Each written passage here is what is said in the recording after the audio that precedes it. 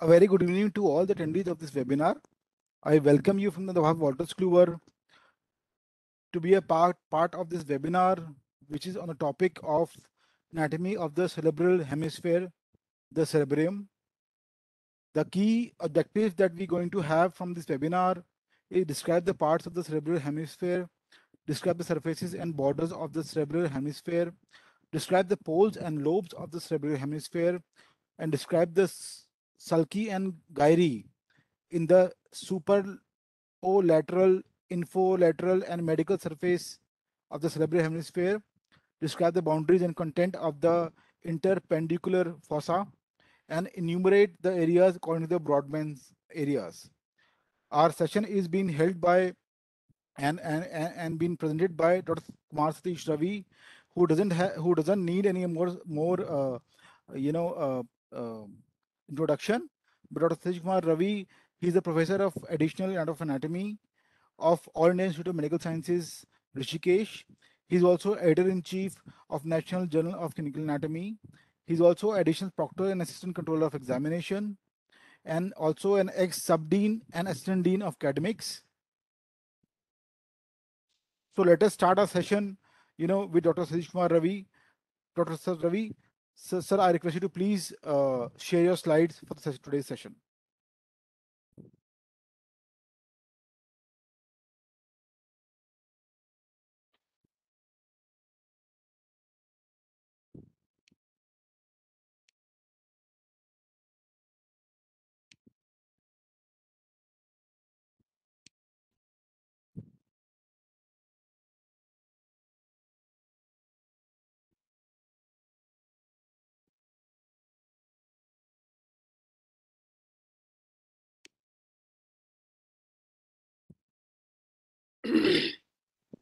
Am I audible?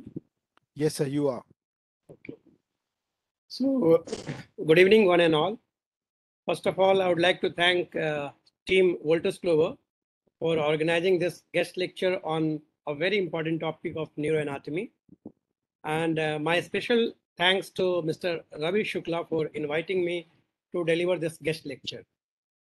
I always love to interact with the budding docs of our country and why so? Because you are the future of our country. And someday, if you see, if we need your services in the hospital, you will always be there uh, to give a smile to not only to me, but to all the uh, gloomy faces who comes to you with a ray of hope. So thank you so much uh, for attending this webinar. It's because of you, the webinar is a grand success. And I'm very happy to know I've been told that around 1500, 1400 uh, people have registered for the, uh, this webinar. So that's a huge number. Thank you so much. Now, just to introduce, already introduction has been given. I'm additional professor working in the Department of Anatomy at All India Institute of Medical Sciences, Rishikesh. Apart from that, I'm the editor-in-chief of National Journal of Clinical Anatomy, which is a voice of clinical anatomists of India and official publication of the Society of Clinical Anatomists. I'm delighted to share uh, that on recommendation of the editorial board of Gray's Anatomy, I was offered and requested to review uh, the 42nd international edition of Gray's Anatomy. And indeed, I feel honored and blessed to contribute to upcoming 43rd edition of Gray's Anatomy, which is expected to come by the year 2025. And most importantly, I am also the chief editor of Snell's Clinical Neuroanatomy, which is the South Asian edition, uh, which is read globally and undoubtedly it is considered as the Bible of anatomy. So this is all about, I would like to uh, say about the introductory part. Now, this is the competency as per the National Medical of Commission that describe and demonstrate surfaces, gyri, poles, and functional areas of the cerebral hemisphere. And I will be covering uh, these headings, the objectives of the today's lecture will be uh, following. And then I will not be wasting much time because it's a long lecture because I have to cover so many things like uh, you say the development, introduction, external features, lobes, sulci and gyri, structure, and then the functional area. Now, the very first question when we hear the cerebrum, so the first question which comes to our mind is why we should learn anatomy of the cerebrum, isn't it? So what I can say that the cerebrum represents one of the largest regions of the brain. Uh, we have discussed in the previously also in the past, right? So when you talk about the different parts of the brain, the cerebrum is the largest region you say of the brain which covers it. And you have just uh, seen in the picture in the very first slide. And when you talk about the functions of the cerebrum, right, it is very critical uh, for the survival of the individual. It is responsible for the processing information which are associated with the, uh, you say the movement, smell, uh, sensory perception, you can say language, communication, memory, and even what we are learning right now. All these are the various functions of the cerebrum. So now, before we discuss about the cerebral hemisphere, let's have a brief idea about the development of the brain. Now, when we see over here, this brain develops from enlarged cranial part of the neural tube. And at about, you say, the fourth week of the uh, intrauterine life, you can say that enlarged cephalic part shows three distinct dilatations you can uh, make out over here, the prosencephalon, the mesencephalon, and then we have the rhombencephalon, right? So these three distinct dilatations, these are called as the primary brain vesicles. And as I said, from uh, this cranio caudally, you say it is the forebrain, midbrain, or the hindbrain. Otherwise, I said the prosencephalon, the mesencephalon, and then the rhombencephalon. When you see their cavities, right, the cavities of these three vesicles, what we have mentioned over here, right, these forms the ventricular system uh, of the adult brain. And when we move towards the fifth week of the development, during the fifth week of the development, you'll find that both the prosencephalon and the rhombencephalon over here, when you see. So this is the rhombencephalon and the prosencephalon. So during the fifth week of uh, this, uh, subdivide into two vesicles further.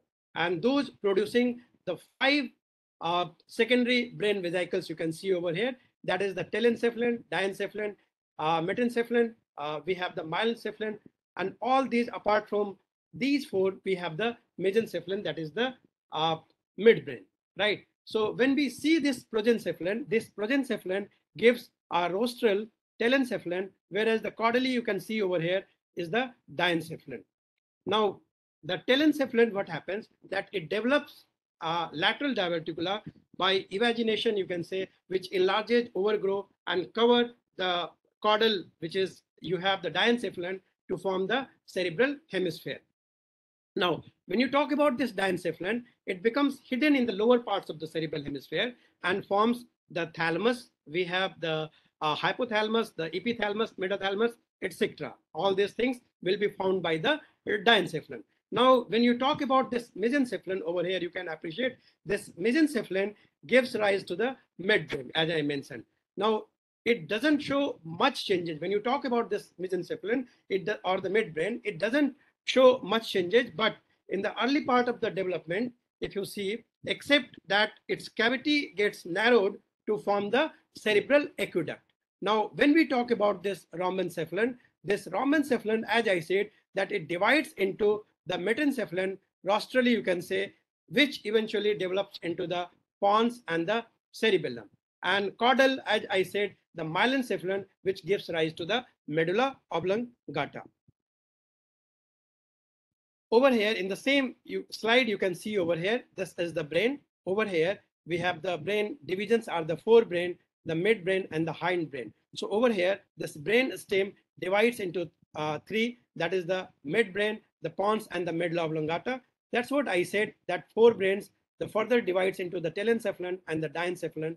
The, we have this mesencephalon, whereas the rhombencephalon divides into the metencephalon and the myelencephalon, the telencephalon, which will eventually develops into the cerebrum. So this is what I wanted to say over here, that the cerebrum uh, develops or formed from the telencephalon. Now, when we see over here, this is the diagram of the cerebral hemisphere you can see. So what I said that the cerebrum is the largest part of the brain and it consists of the two cerebral hemispheres. I can you can see over here the right cerebral hemisphere and the left cerebral hemisphere. So when you talk about this uh, cerebral hemisphere, it when you see over here in this diagram, right, we have this cranial cavity. In the cranial cavity, when you see, there are three cranial fossa. Anteriorly, we have the anterior cranial fossa. In the middle, we have the middle cranial fossa. And posteriorly, you can appreciate we have the posterior cranial fossa.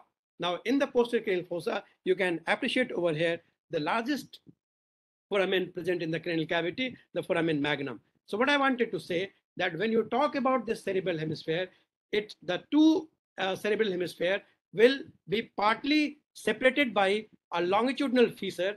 We call it as the over here. You can see over here, and these right and left cerebral hemispheres are separated. There is a, a gap over here. You can appreciate this is the median longitudinal fissure. Now, what I said that when you see this cerebral hemisphere, this occupy the two cavity or the two fossa, the anterior and the middle cranial fossa of the cranial cavity. And apart from this anterior and the middle cranial fossa of the cranial cavity, it also occupy the supratentorial region of the posterior cranial fossa, right? Not over here, but what I said that it covers the supratentorial region of the uh, posterior cranial fossa. Now, as I said that the two cerebral hemispheres are separated by the longitudinal cerebral hemisphere over here, which you can appreciate. This is the corpus callosum, which is present, and the two cerebral hemispheres are joined together by our largest commissural fiber, you say, right? And this largest commissural fiber, it is called as the uh, corpus callosum. So when we see there are other commissural fibers as well, like we have the anterior commissural fibers, we have the hippocampal uh, commissural fibers of the fornix. So what I wanted to say that the two cerebral hemispheres are connected by the largest commissural fiber, which is called as the corpus callosum, which you can appreciate over here. There are the different parts of the corpus callosum. We have the rostrum, genu, the body, and the posteriorly you can see is the splenium, right? So these, I said, uh, the uh, this uh, corpus callosum, the fibers of the corpus callosum,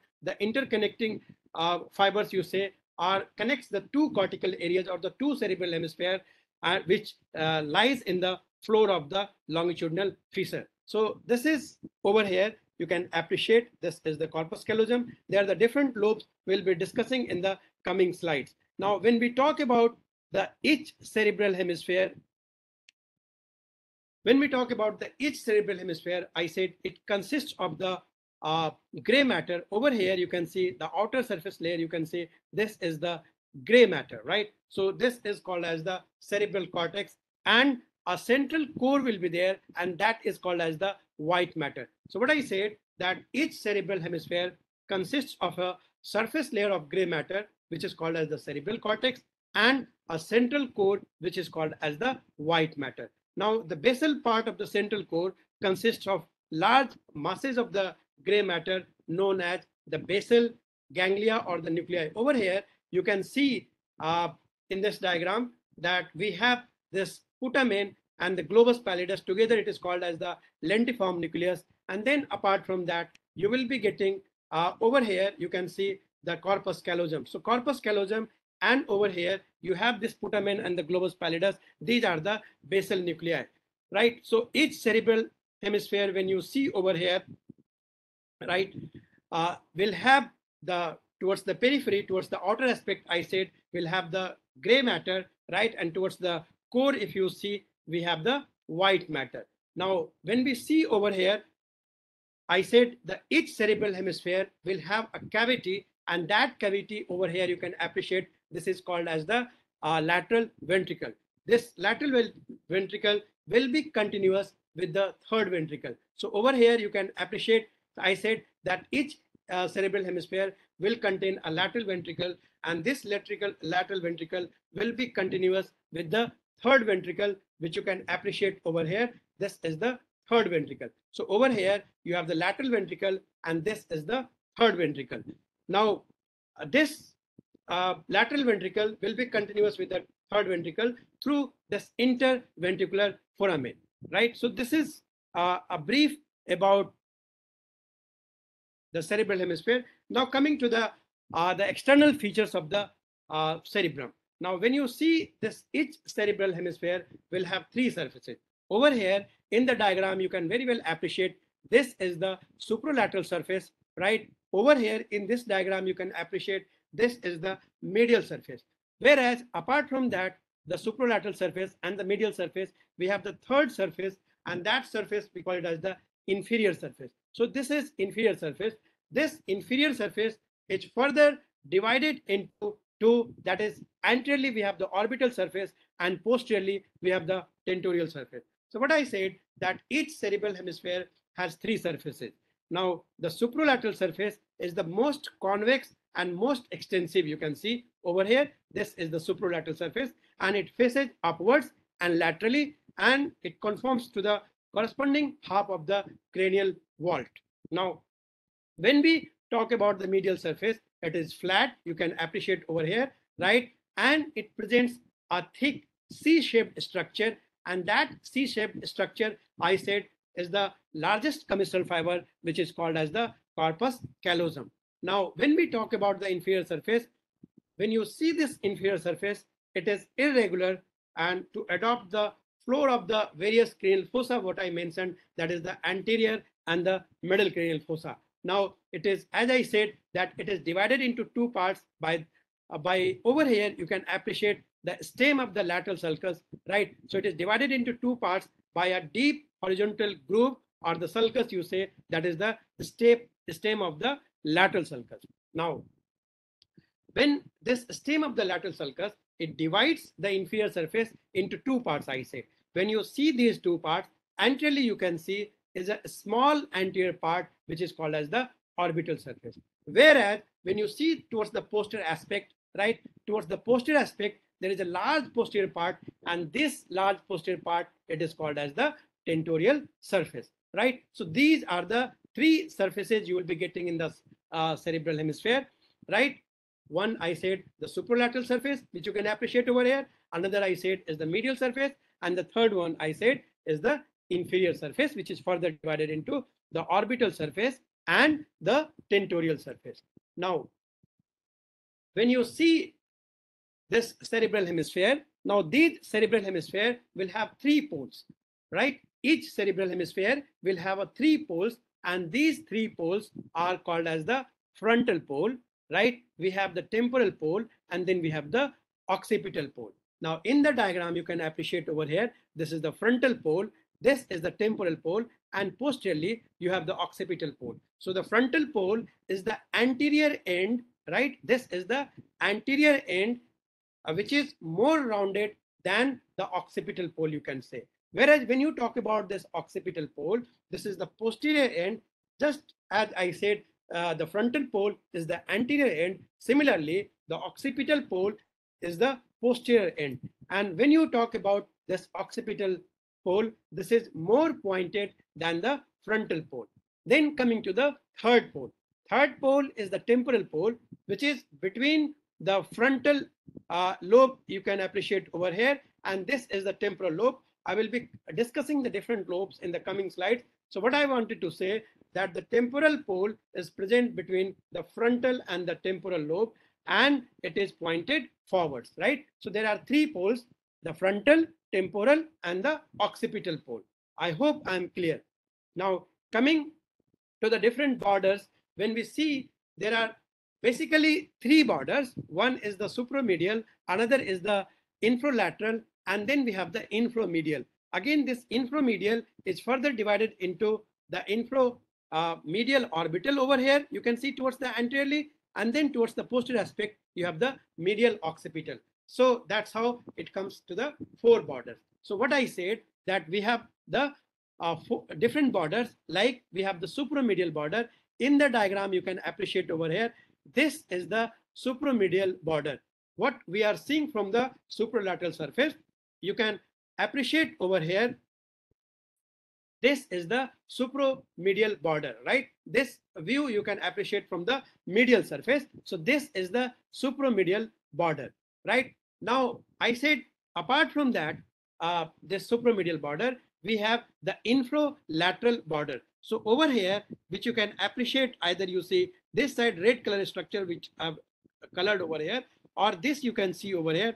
These are the infralateral borders, right? This we call it as the infralateral border. in each cerebral hemisphere, right? So we have the supromedial border and then we have the infralateral border. Then if you see over here, this is, is the medial orbital border and posteriorly towards the posterior aspect, you have the medial occipital border. So when we talk about the supromedial border, this supromedial border, it separates the supralateral surface from the medial surface. You can see over here, this is the supralateral surface and this is the medial surface. So supromedial border, it's separating the supralateral surface with the medial surface, right?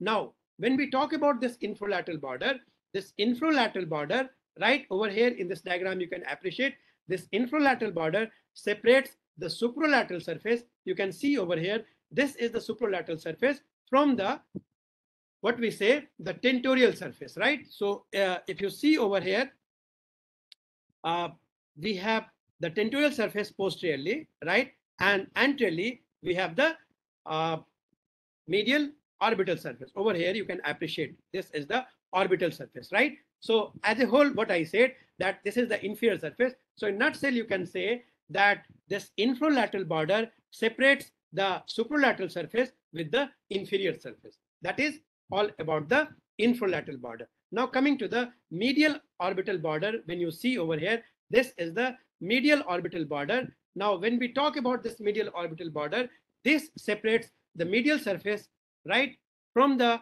uh, you say this is the orbital surface, right? So this medial orbital border will be separating the medial, if you have this medial surface, right? This is the medial surface. So this will be separating the medial surface with the, you say, the orbital surface, right? So this you have is the medial orbital border. Coming to the medial occipital border, which is lying posteriorly. So this medial occipital border separates the medial surface with the tentorial surface, right? So over here, you have this is the medial surface. So this medial surface will be separated by this tentorial surface from this the medial occipital border. So these are the different borders which you can appreciate over here in the diagram. That is the supromedial border, right? Over here you can see this is the supromedial border. Then we have the infralateral border, and then you have the medial orbital border, and then posteriorly you have the, the medial occipital border, and together it is called as the inframedial border, right? So this is all about the different borders. Now coming to the different lobes. Now in the diagram, you can very well appreciate the different lobes. So the very first lobe which you can appreciate over here is the frontal lobe, right? And then just posterior to the frontal lobe, you can appreciate over here is the parietal lobe. Inferiorly, you can appreciate the temporal lobe, right? But when you dissect, right, when you uh, reflect this lateral sulcus is over here, when you dissect and reflect the two parts, right, uh, of you say the parietal lobe and the temporal lobe in the deep, you will be getting the insula. That is the another uh, lobe you can say over here, right? So what I said, we have the frontal lobe, we have the parietal lobe, we have the temporal lobe, and then we have the occipital lobe posteriorly. So these are the main lobes over here. And another uh, lobe which is deeply situated, sometimes we call it as the insula. So what I wanted to say that when you talk about the lobes of the cerebrum, there are main four lo lobes are there. And these four lobes are the frontal lobe, the parietal lobe, the temporal lobe, and then we have the occipital lobe. So they basically these are the four main lobes. Apart from that, sometimes this insula is considered another lobe which is deeply situated over here.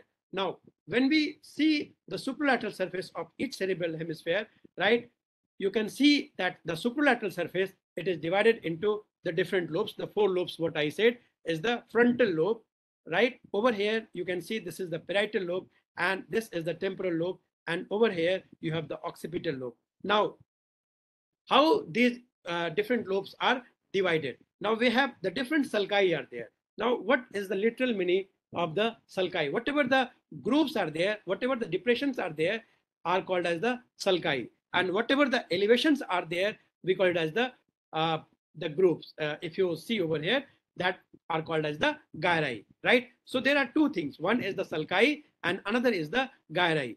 The gyrus is the singular word and the gyri is the plural word. So what I said that when you see this supralateral surface, there are basically important sulci are there. And these are the central sulcus, which you can appreciate over here. Then you have, this is the lateral sulcus. And apart from that, we have this parieto-occipital sulcus, which basically you find on the medial surface, right? This parieto-occipital sulcus, basically, which is present on the medial surface, but a small portion of this parieto-occipital sulcus you will be getting on the supralateral surface as well.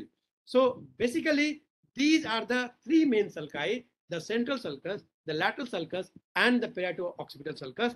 And apart from that, there are two imaginary lines. You can see over here, these are the two imaginary lines which divides the cerebral hemisphere or the uh, supralateral surface or the medial surface, you say, into the different lobes. Now, what are those two imaginary lines? First imaginary line which you can see over here, you extend one, uh, draw a line from this parieto-occipital uh, sulcus, right? And extend this imaginary line to the pre-occipital notch, which the pre-occipital notch, you will be getting five centimeter from this occipital pole. So draw this imaginary line between this parieto-occipital notch to the pre-occipital notch. Now draw another imaginary line, right? We'll be discussing about the different rami of the lateral sulcus. So in nutshell, uh, over here, I would like to, to say that there are three rami of the lateral sulcus. We have the anterior ramus, we have the ascending ramus, and this is the posterior ramus of the lateral sulcus. Now, to draw the second imaginary line, what you have to do that you draw another imaginary line, extend it from the posterior ramus of the lateral sulcus and join it to the first imaginary line which you have drawn from the parieto-occipital sulcus to the pre-occipital notch. This will divide the, the parietal lobe and the temporal lobe. And posterior to this first imaginary line which you have drawn from this parieto-occipital uh, sulcus to the pre-occipital notch, posterior to that you have the occipital lobe. So what I said that the first imaginary line is a vertical line joining the parieto-occipital sulcus to the pre-occipital notch. And the second imaginary line I said is the backward, the posterior continuation of the horizontal part of the posterior ramus. The posterior ramus is there, you extend it. So the second imaginary line is the backward or the posterior continuation of the posterior ramus of the lateral sulcus till it joins the first line, right? Now, the when you see this frontal lobe, this is the frontal lobe. So the frontal lobe lies anterior to the central sulcus, right? The frontal lobe, I said, it lies anterior to the central sulcus and it is in front of the upper part of the first, if you see over here, this is the uh, lateral sulcus, right? So just superior to that, right, you have this frontal lobe, right? So below it is bounded by the posterior ramus of the lateral sulcus, right? And if you see over here, so what I said that you have the central sulcus, anterior to the central sulcus, you have the frontal lobe, posterior to the central sulcus, right?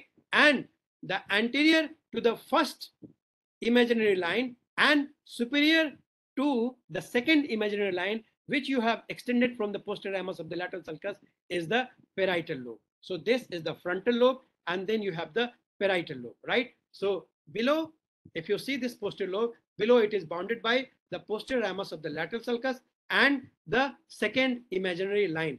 This is as a whole, if you see superior to this is the parietal lobe. Now coming to the temporal lobe, when you see this is the temporal lobe, which is lying below inferior to this posterior ramus of the lat lateral sulcus and the second imaginary line and anterior to the first imaginary line, this whole uh, portion, the area, if you see, it is the temporal lobe, right? So when you talk about the fourth lobe, that is the occipital lobe, it is separated from, if you see, the uh, parieto-occipital sulcus and the pre-occipital notch, you have drawn the first imaginary line. The posterior to that, you have the occipital lobe. So occipital lobe lies behind the vertical line joining the parieto-occipital sulcus and the pre-occipital notch. So I hope I'm clear. This is all about the, the different lobes of the cerebrum. On the uh, medial surface, if you see, this is the parietal lobe. Over here, you have the frontal lobe, right? And this is as a whole is the parietal lobe. If you see over here, uh, posterior to the central sulcus is the parietal lobe and anterior to the parieto-occipital sulcus, right? This is all is the parietal lobe anterior to the central sulcus. Complete area, if you see over here, this is the frontal lobe, right? And inferior to this, if you see, uh, you have this center uh, lateral sulcus, right? And the imaginary line which you have drawn from the pre-occipital notch, right? This is this is the temporal lobe. The posterior to that you have is the uh, occipital lobe. So these are the different lobes you will be getting on the superolateral surface or the medial surface.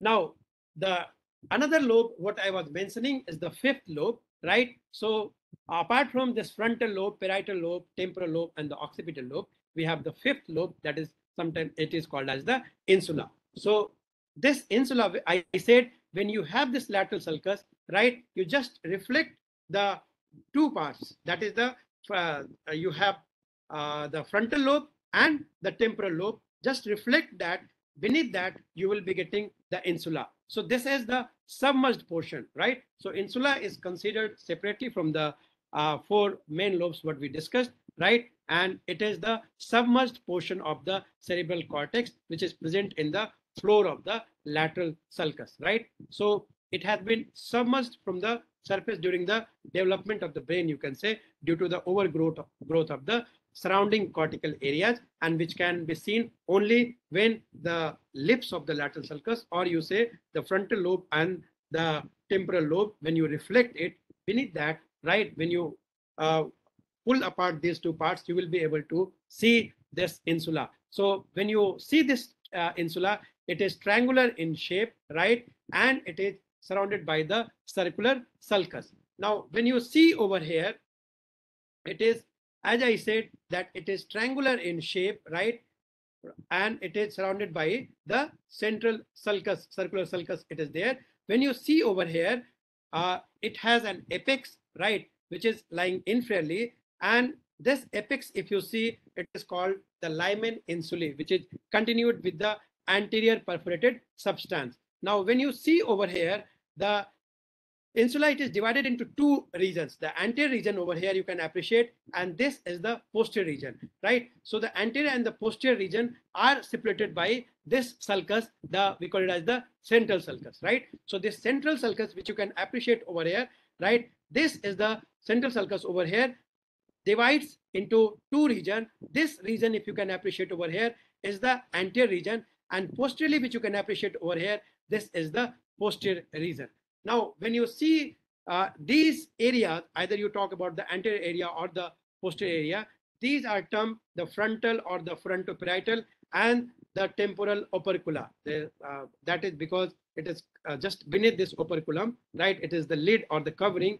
These areas are called as such, right? Now, when you see the superior surface of the temporal operculum, which presents the anterior and the posterior transverse temporal gyri, you can appreciate over here in this diagram. These are the long gyrus and over here anteriorly if you see over here these are the short gyri you can appreciate over here right? So this is all about the insula if you appreciate. Now coming to the different sulci and the gyri will be discussing in detail. So as i said that we have the sulcus right? The uh, singular word is the sulcus and the plural is the sulci. So whatever the depressions are there right in this schematic diagram you can appreciate is are the sulcus. And whatever the elevations are there these are called as the gyrus. So each cerebral hemisphere when you see right it shows a complex pattern of the convolution you say. And you can appreciate in this diagram or you can appreciate over here. And these uh, convolutions you say are the gyrus or the plural i said these gyri are there and these gyri are separated by some of the furrows of the varying length. These are, you can appreciate over here, these are the furrows of the varying length and these are called as the sulcus or in plural we say the sulci. Now, now when we see this convoluted structure, this increases the surface area, right? So what I said, when we see this sulci, these are defined as the depressions or the fissure in the surface of the brain, while the gyrus, when you see these are the elevations or the ridge on the cerebral cortex. Now, what are the different types of sulcus we will see individually, the main sulcus. Now, when we see the types of sulcus, right, or the types of sulci, it has been divided or the classified on the basis of the function, on the basis of the formation, and then on the basis of the depth. Now, when we talk about the classification of the uh, sulci or the types of the sulci on the basis of the function, so on the basis of the function, these are the limiting sulcus, these are the axial sulcus, and then we have the operculated sulcus. Now the question arises, what do you mean by the li limiting sulcus? So the limiting sulcus will be defined as the sulcus which separates at its floor, right? So what do you mean by that? Means it separates the two areas which are not only functionally, but even structurally are different. Like we have the central sulcus between you say the motor and the sensory area, right? So I repeat, I said the limiting sulcus separates at its floor and it not only separates uh, the areas which are on the basis of the function, but areas which are structurally different. And the example I said is the central sulcus, which are present between the uh, motor and the sensory area. Now coming to the next, that is the axial sulcus. Now, what do you mean by the axial sulcus? Now, the axial sulcus develops in the long axis of the rapidly growing homogeneous areas, like we say the post calcarine sulcus, which is present in the long axis of the striate area.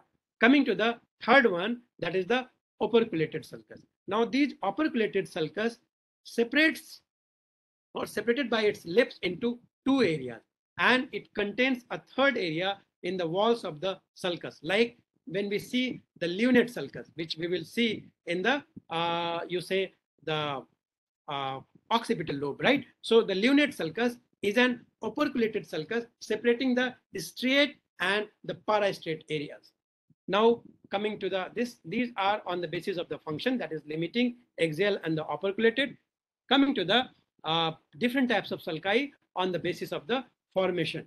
Now, when we talk about the formation, these have been classified as the primary right sulci, and then we have the secondary sulci. Now, the question arises, what do you mean by the primary sulci? So, primary sulci are formed before the birth, right? These are independently Uh, existing. You say like the central sulcus. So, central sulcus are the primary sulcus, right? Now, what do you mean by the secondary sulcus? Now, when we see this secondary sulcus, these secondary sulcus are produced by various factors, right?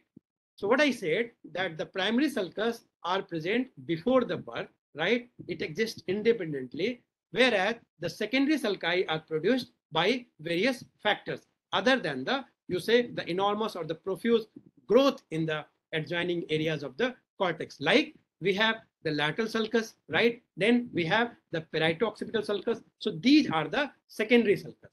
Now, there are the third type of sulci, and these has been classified on the basis of the depth. And these are the complete sulci, or you say the incomplete sulcus. Now, what do you mean by the complete sulcus?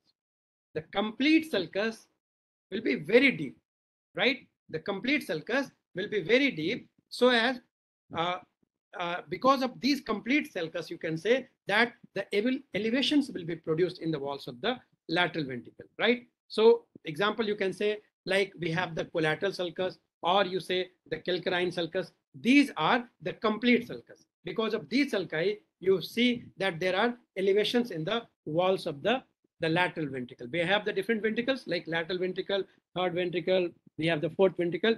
You will be uh, in the coming webinar, we will be discussing about the ventricles of the brain as well, right? So this is what I said that we have the complete sulcus. Now, when we talk about the incomplete sulcus, these are superficially situated. These are the depth is not too much, right? It are these are superficially situated. Like I said, there are two uh, types of uh, sulci on the basis of the depth. You say one is the complete, which is uh, uh, deeply situated, the depth will be there, whereas another is the incomplete sulcus, which are superficially situated, right? And these incomplete sulcus or the incomplete sulci will not be very deep, right? Like the example when you see of the incomplete sulcus are the paracentral sulcus, right? So these are the different types of sulci on the basis of function, on the basis of formation, and then we have on the basis of depth. I hope I'm clear, right? So I'll not repeat once again. I'll just proceed further because this lecture will be too long, right? Now we'll see the different sulci, the main chief sulci. There are different various sulci. We cannot discuss all the sulci, but the main, the important sulci, the chief sulci, we should discuss. Now, when we see the lateral sulcus, right? You can see over here in this diagram, these are the the very first sulcus which you will appreciate over here in this diagram I have already shown. This is the central sulcus, right? This is the central sulcus. Then we have the lateral sulcus over here. The three rami you can you can appreciate, right? The anterior rami, this is the ascending rami, and then we have the posterior ramus of the lateral sulcus. Then apart from that, you can see over here, I said the parieto-occipital sulcus, which is mainly present on the medial surface, right? This parieto-occipital uh, sulcus, when you say this is the supralateral surface, because of that only, you are not able to appreciate that much this parieto-occipital sulcus because it is present on the medial surface. So the another is the parieto-occipital sulcus. The fourth main sulci we will be discussing is the calcarine sulcus, right? So we have the calcarine sulcus, which is present on the uh, medial surface we'll be discussing, right? So these are the different sulcus we'll be discussing one by one. First, we'll discuss the lateral sulcus.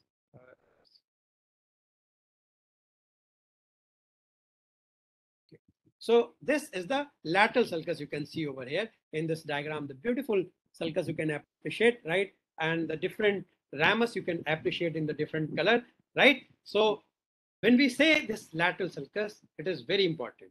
Why it is? Because it is most conspicuous, you can say, of all the cerebral sulci.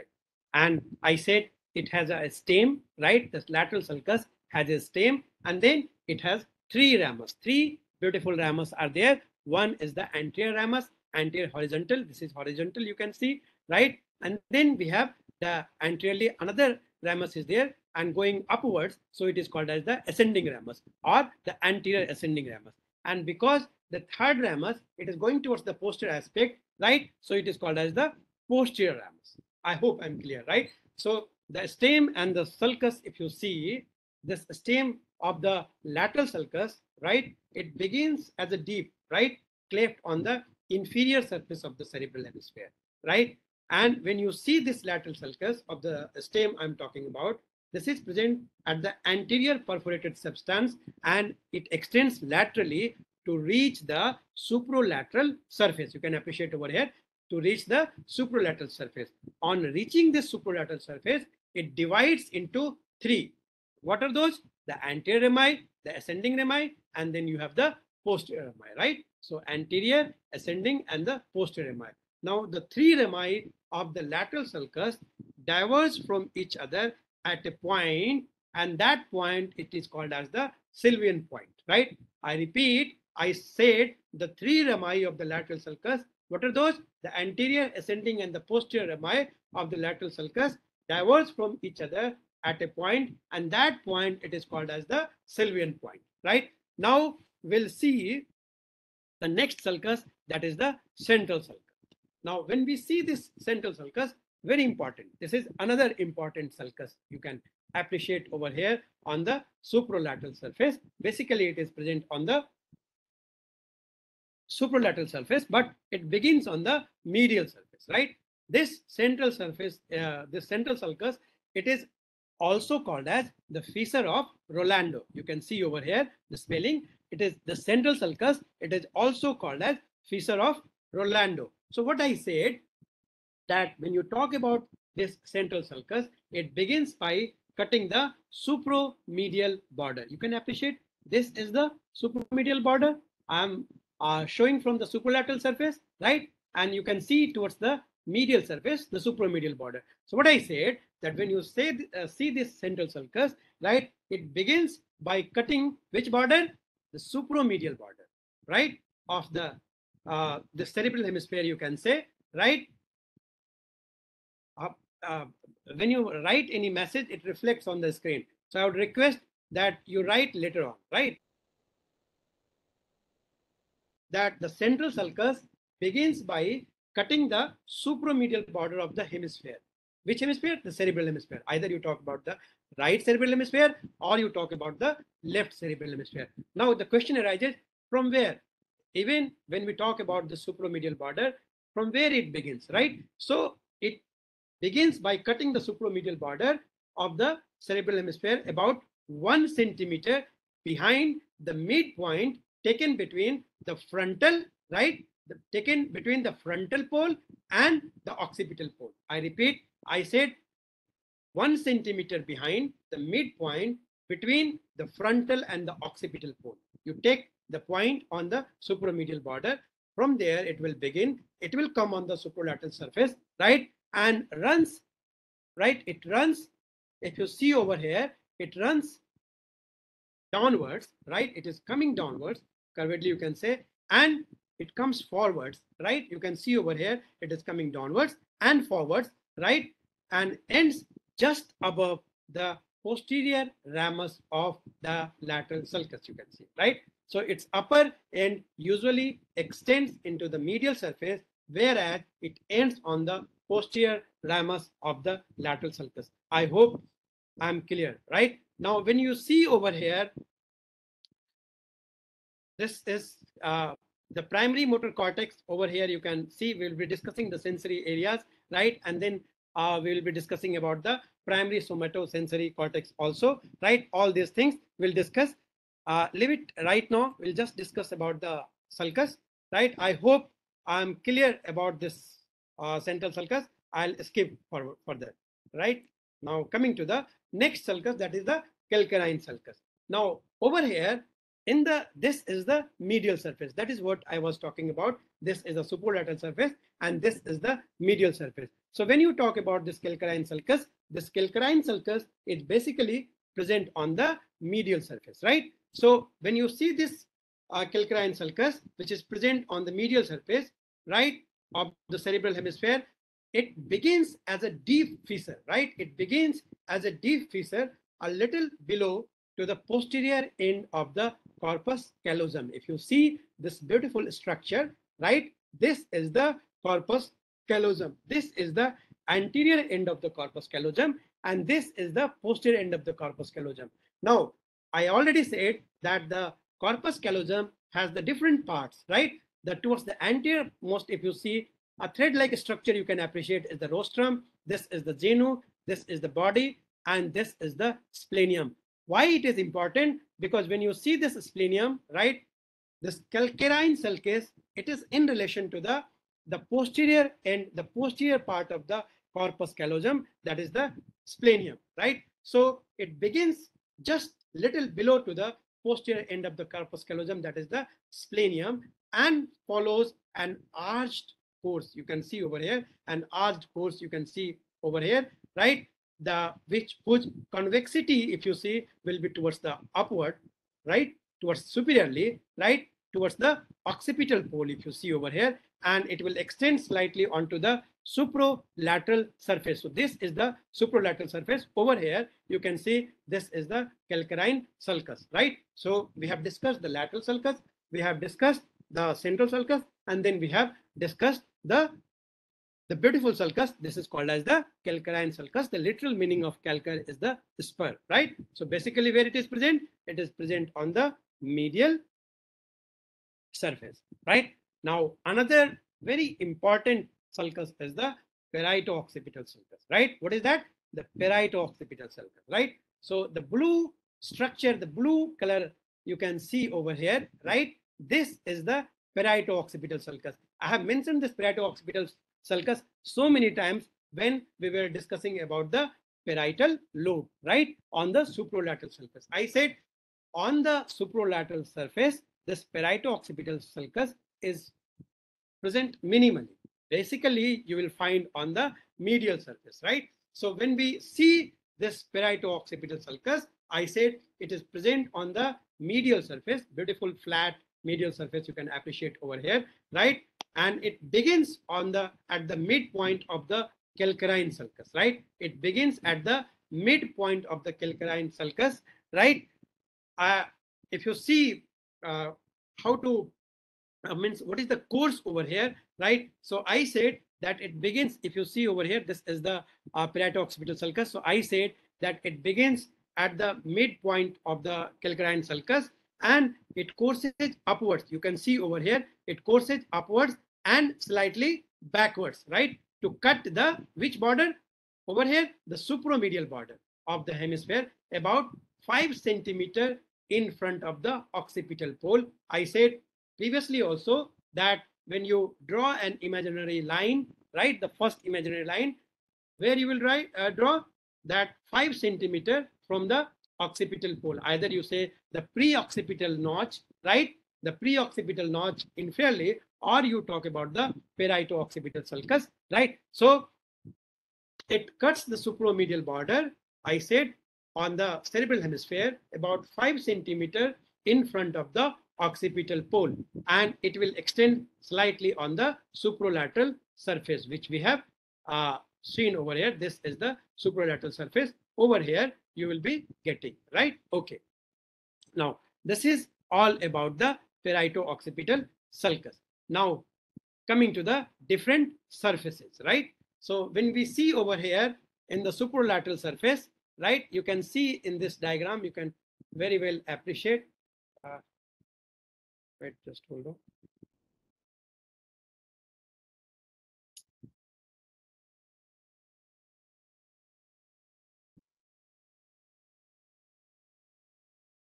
okay so if you see uh, the sulci or the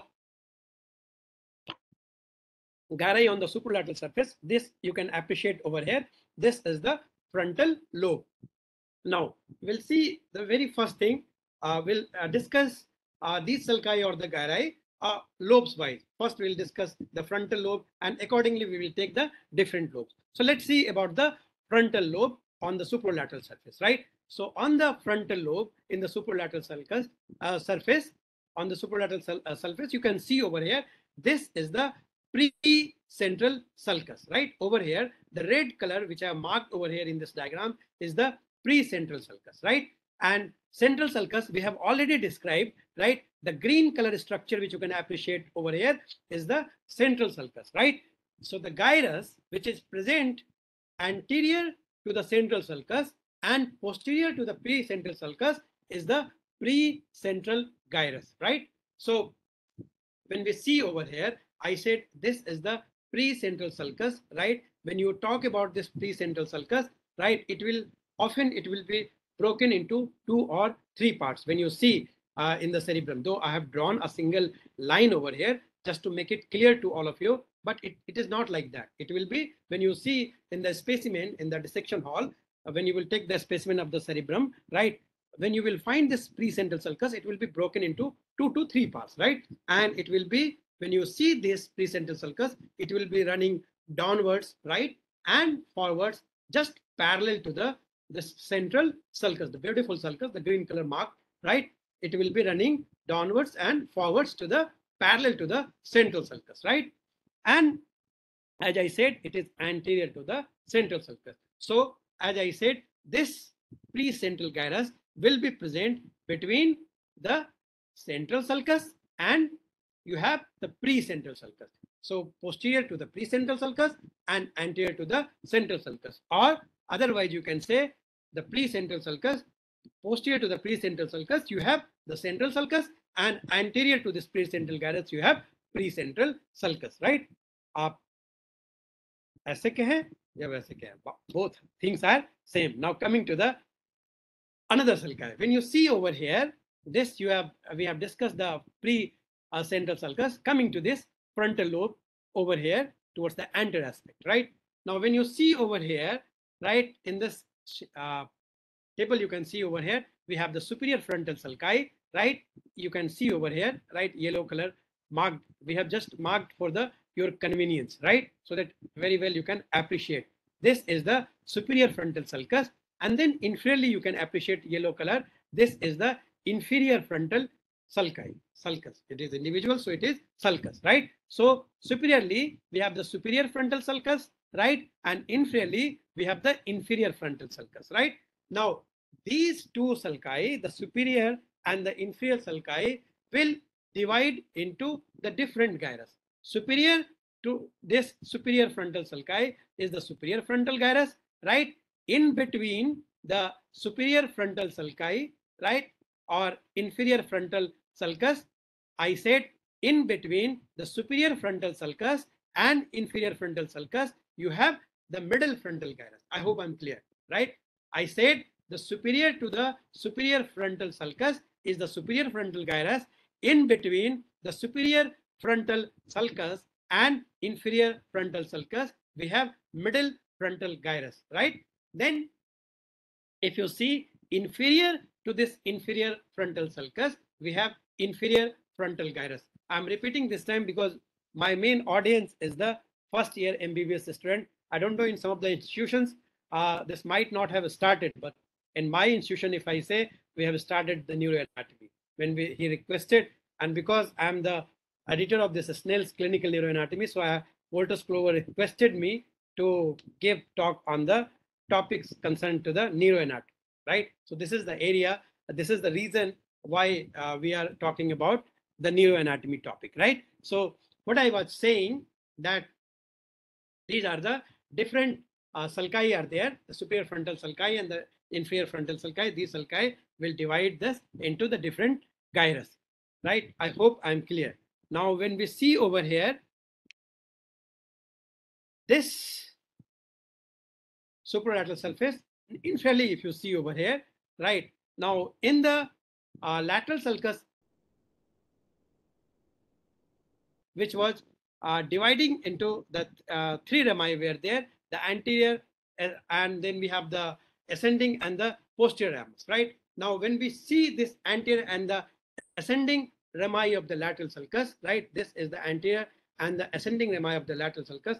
This divide this inferior uh, frontal gyrus. Uh, just now we discussed about the inferior frontal gyrus, which is inferior to the inferior frontal sulcus, right? So this inferior frontal gyrus, it is divided into the different area, the different region by the different rami of the lateral sulcus. This is the anterior rami and this is the ascending rami.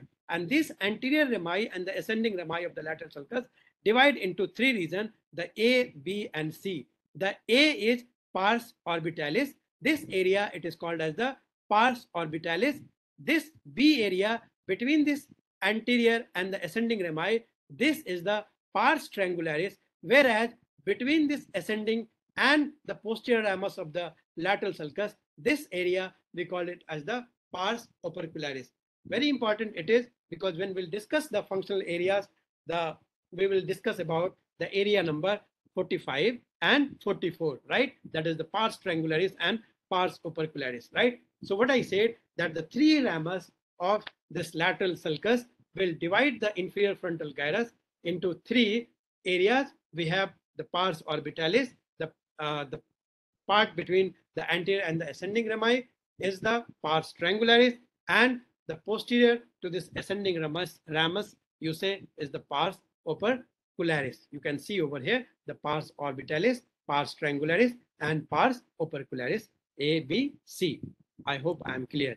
Now coming to the the parietal lobe. The, this is all about the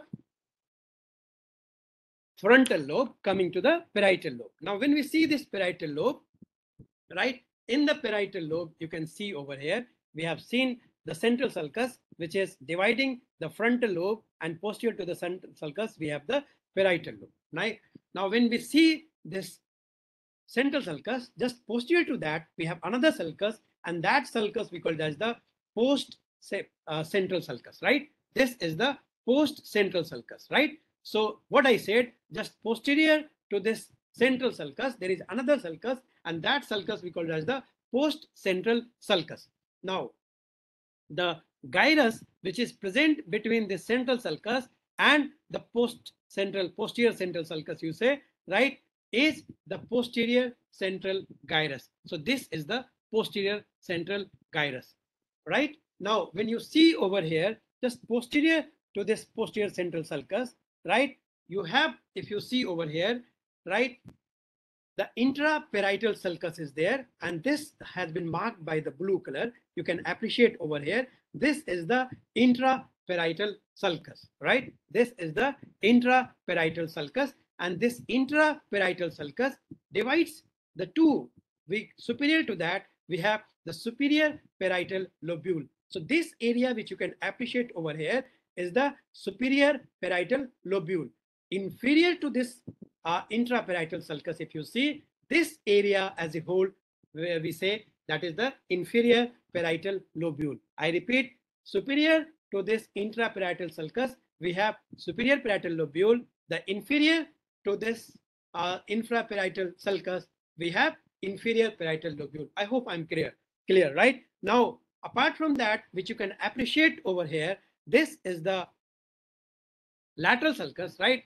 The area, the white color uh, marked structure area you can appreciate over here is the supramarginal gyrus, just angulated over here. You can see this is the supramarginal gyrus, whereas this another, if you can appreciate over here, is the angular gyrus, right? So this is all about on the parietal lobe. Now coming to the next, if you see over here, that is on the temporal lobe. Just now we were discussing. So over here, this is the lateral sulcus, right? Apart from that, in the temporal lobe, which you can appreciate over here, we have the superior temporal sulcus marked in the yellow color, right? Inferiorly, you can appreciate over here, another sulcus is there, right? And this beautiful sulcus, it is called as the inferior temporal sulcus, right? So in the temporal lobe, the mainly two sulcus are there, right? One is the superior uh, temporal sulcus, which you can appreciate over here, right? This is the superior temporal sulcus.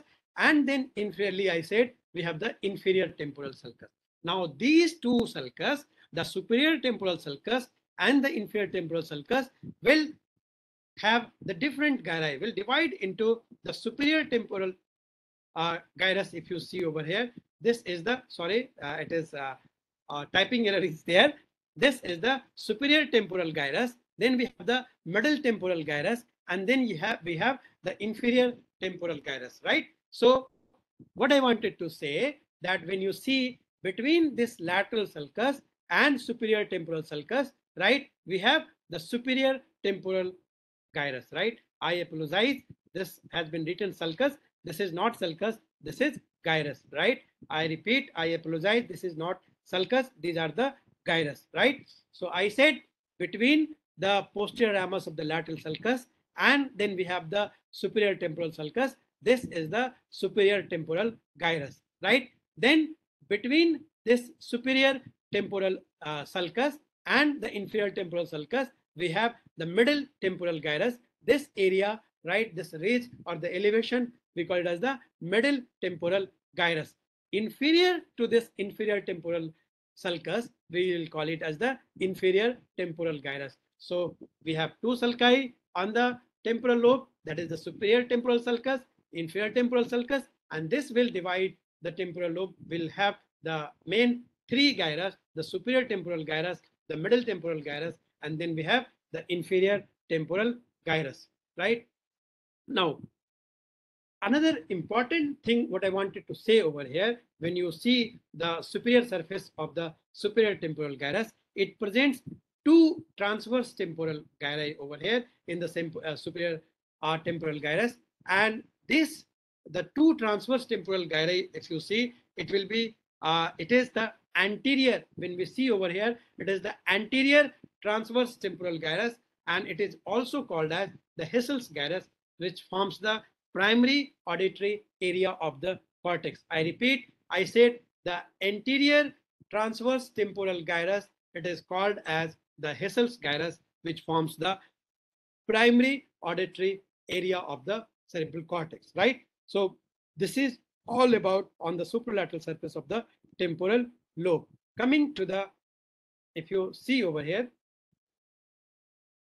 this is coming to the occipital lobe when we see over here, right? This is the occipital lobe posterior to the uh, first imaginary line which you have drawn from the parieto-occipital sulcus to the pre-occipital notch, right? Over here, we have the occipital lobe. Now, in the occipital lobe, you will be getting the three important sulcus and these are the transverse sulcus which you can appreciate over here yellow marked structure right this is the transverse sulcus another if you can appreciate over here, here the red color structure the red marked area is the lateral sulcus right and the third beautiful sulcus which you can appreciate over here is the lunate sulcus. So there are three sulcus main sulcus which you will appreciate on the occipital lobe and these are the transverse sulcus right? The transverse sulcus the lateral sulcus and then we have the lunate sulcus right?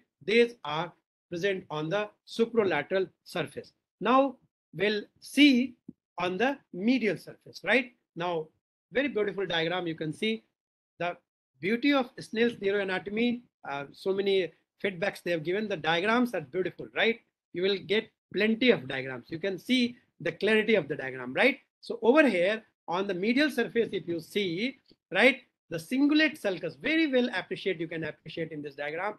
This is the cingulate sulcus, right? This is the cingulate sulcus.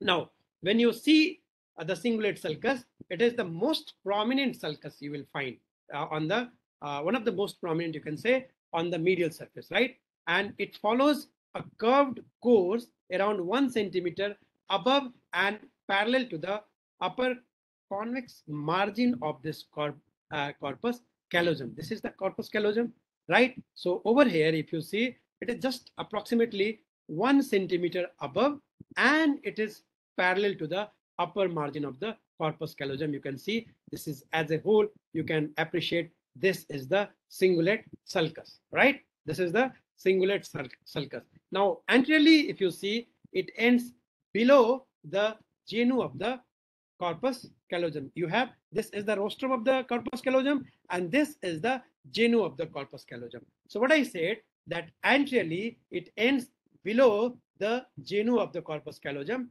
whereas posteriorly, when you go right, posteriorly it turns upwards, right, to reach the superomedial border of the cerebral hemisphere, right? So a little behind the upper end of the central sulcus, right? A little behind the upper, you say, the upper end of the central sulcus. So the area between this cingulate sulcus, right? The area between this cingulate sulcus and the corpus callosum, if you see, it is called as the cingulate gyrus. The name itself suggests we have the cingulate sulcus. So the gyri is the cingulate gyrus. I, I hope I'm clear, right? So this is the cingulate sulcus, right?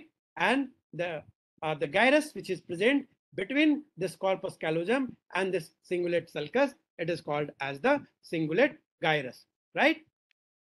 Okay, now coming to the another sulcus, if you see over here on the medial surface, that is the callosal sulcus, right? That is the callosal sulcus. Over here, you can appreciate in this beautiful diagram again, right? This is the uh, choroid plexus over here, you can appreciate, right? So when you see over here, uh, this callosal sulcus, if you can appreciate, this callosal sulcus, it is dividing towards the anterior part, right? We have this paracentral lobule and the medial frontal gyrus, right? So over here, if you see, this is the calcarine sulcus you can appreciate over here, right?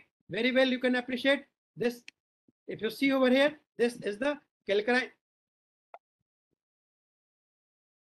right so if you see over here this is the calcarine sulcus this is the parieto-occipital sulcus and over here you can appreciate is the collateral sulcus now when we see this callosal sulcus uh, if you see this is the callosal sulcus uh, just superior to this corpus callosum you can appreciate right now what i wanted to say that anteriorly we have this paracentral lobule you can appreciate over here. This is the paracentral lobule, right? And over here, if you see, this is the medial frontal gyrus, right? The medial frontal gyrus, uh, you appreciate over here. Towards the posterior region, if you see, you will be getting the calcarine sulcus. You have this cuneus region, and just anterior to that, you will be getting the precuneus region. So what I wanted to say that when you see over here, this area we call it as the paracentral lobule. This is the precuneus. Over here, we have the cuneus, right, on the medial surface, the different gyri, if you appreciate, the different region, if you can appreciate, this is the uh, cuneus over here, just uh, in, uh, anterior to that, we have the precuneus. This is the uh, para uh, central lobule you can appreciate. Over here, if you can appreciate, this is the medial frontal gyrus, right? So I repeat, I said we have this callosal sulcus which separates the cingulate gyrus, right? Which separates this cingulate gyrus from the corpus callosum. So throughout, which you can appreciate in this diagram, this is the uh, callosal sulcus over here, right? Which is separating uh, superiorly, we have the cingulate uh, gyrus and inferiorly, we have the uh, this corpus callosum. Now, what when we see this anterior part of the medial surface between this cingulate sulcus, which you can appreciate over here, right? The between the cingulate sulcus and the superomedial border of this cerebral hemisphere, right? Which is divided by a short, you can say, uh, opposite ascending uh, sulcus, you can say cingulate sulcus. This area I said is the uh, medial frontal gyrus, and over here you have this paracentral lobule, right? So these are the reasons over here. When we see over here a small part around the upper part of the central sulcus, this, if you see over here, this is the central sulcus and upper part of this uh, cingulate sulcus, which you can appreciate. This is the, uh, you say the paracentral lobule, right? This is the central sulcus you can appreciate. So what I wanted to say, I just repeat over here. This is the uh, medial frontal gyrus, right? This is the paracentral lobule. Over here, we have this, the cuneus region over here. You can appreciate, right? And just pre, uh, prior to that, you have the precuneus region. So these are the areas you will be getting on the uh, medial surface of the cerebral hemisphere. Now, when we talk about this inferior surface, now the inferior surface, it is divided into two parts. We have the orbital part and then we have the tentorial part over here. Now, when we see this orbital part, in the orbital part, we have the orbital sulcus, right, which is present in the H shape you can appreciate over here. And towards the medial aspect, if you appreciate, this is the olfactory sulcus over here, you can appreciate. And this olfactory sulcus, which is marked in the yellow color, right, which is dividing just medial to that over here, you can see the vertical shape. This is the gyrus rectus over here. So this is the olfactory sulcus. And over here, H-shaped structure, which you can appreciate, right? This red color area, this is the orbital sulcus and which is this H-shaped orbital sulcus.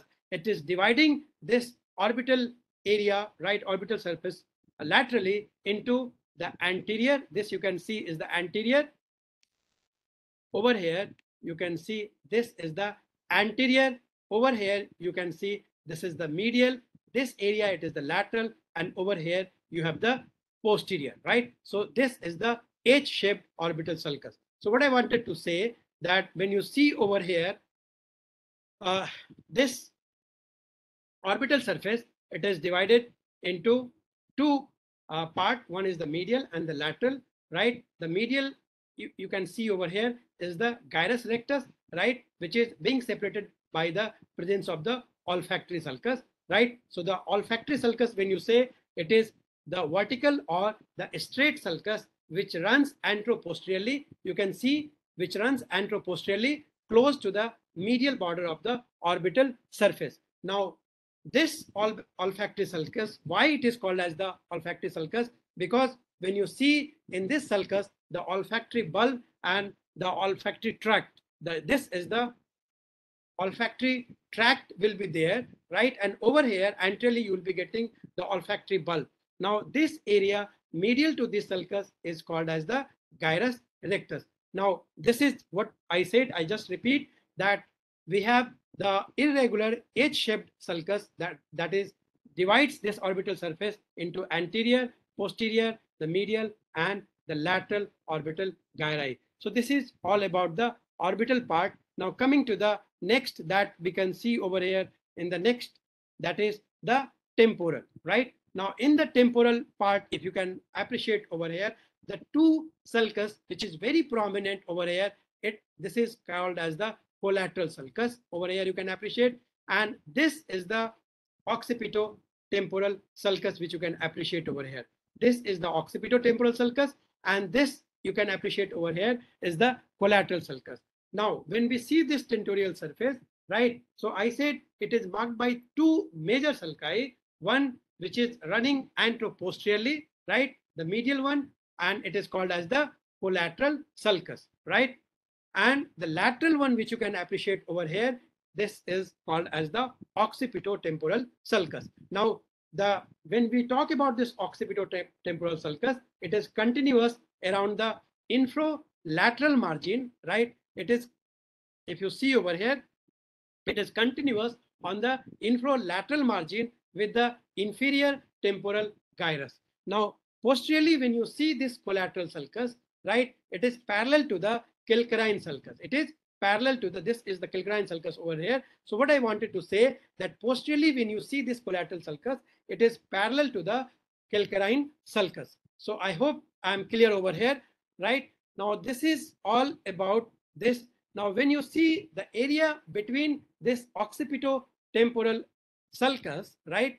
This is the occipito-temporal sulcus. So the area between this occipito-temporal sulcus laterally and the collateral and the rhinal sulcus, if you see rhinal sulcus medially will be there, is known as the medial occipito-temporal gyrus, right? So it is called as the medial occipito-temporal gyrus. I said that the area between this occipito-temporal sulcus laterally, right, and the collateral and the rhinal sulcus medially is known as the medial occipital temporal gyrus. The area lateral to this occipito-temporal sulcus is termed as the lateral occipito-temporal gyrus. So this area, if you see over here, this is called as the lateral occipito-temporal gyrus. Now, this, if you see this lateral occipito-temporal gyrus, it is continued around the inferolateral margin of the hemisphere with the inferior temporal gyrus, right? So this is all about the temporal part or the tentorial part you can see over here.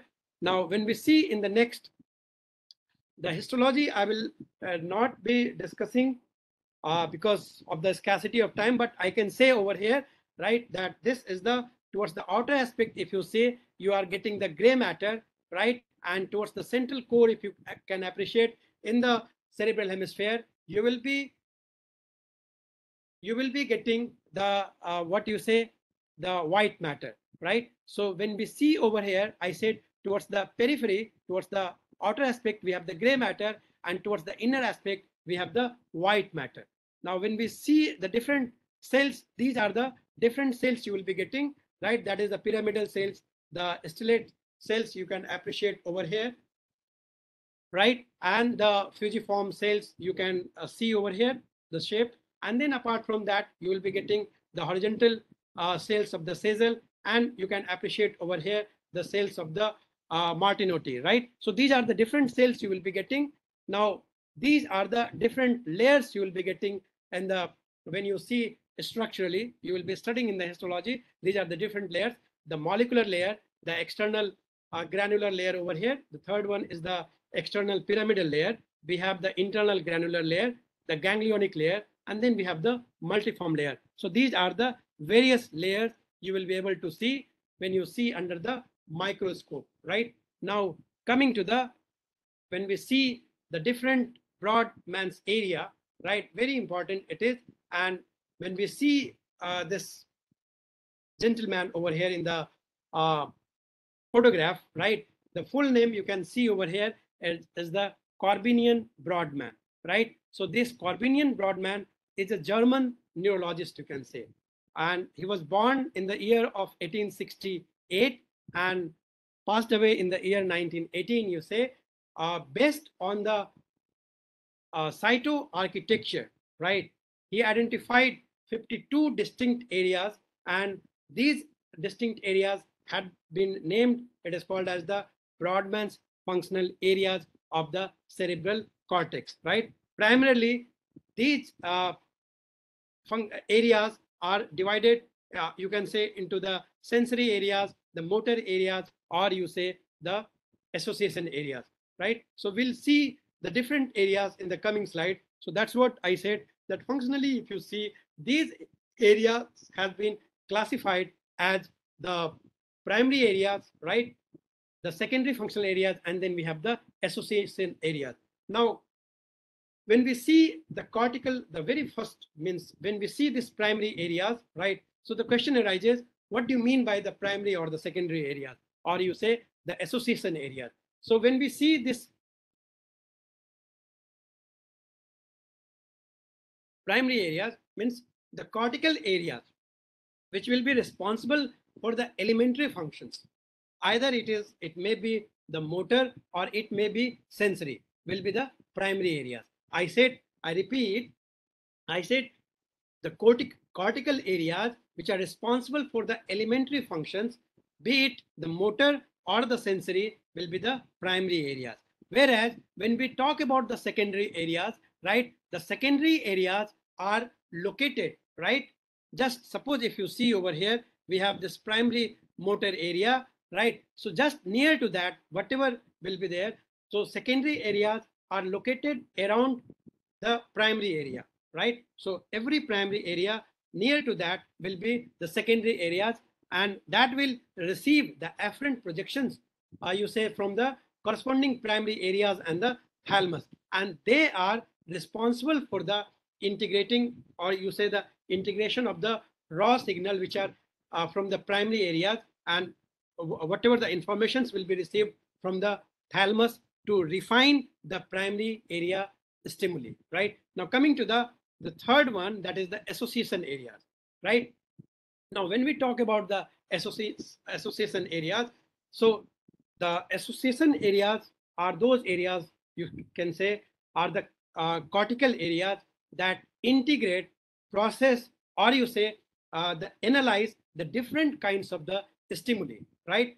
Uh, which are which reaches you say the brain and are involved in the mediating the higher mental functions. I repeat, I said the association areas are those areas which are present on the cortex, the, cere the cerebral cortex, which integrate, right, process and analyze the different kinds of the stimuli which reaches the brain and which are involved, which participate in mediating the higher mental functions. So these are uh, the uh, association areas, right? So the I said the primary areas are those, right, which are responsible for the elementary functions, right, be it the motor or the sensory. The secondary areas, I said that this will be located around every uh, primary areas, right?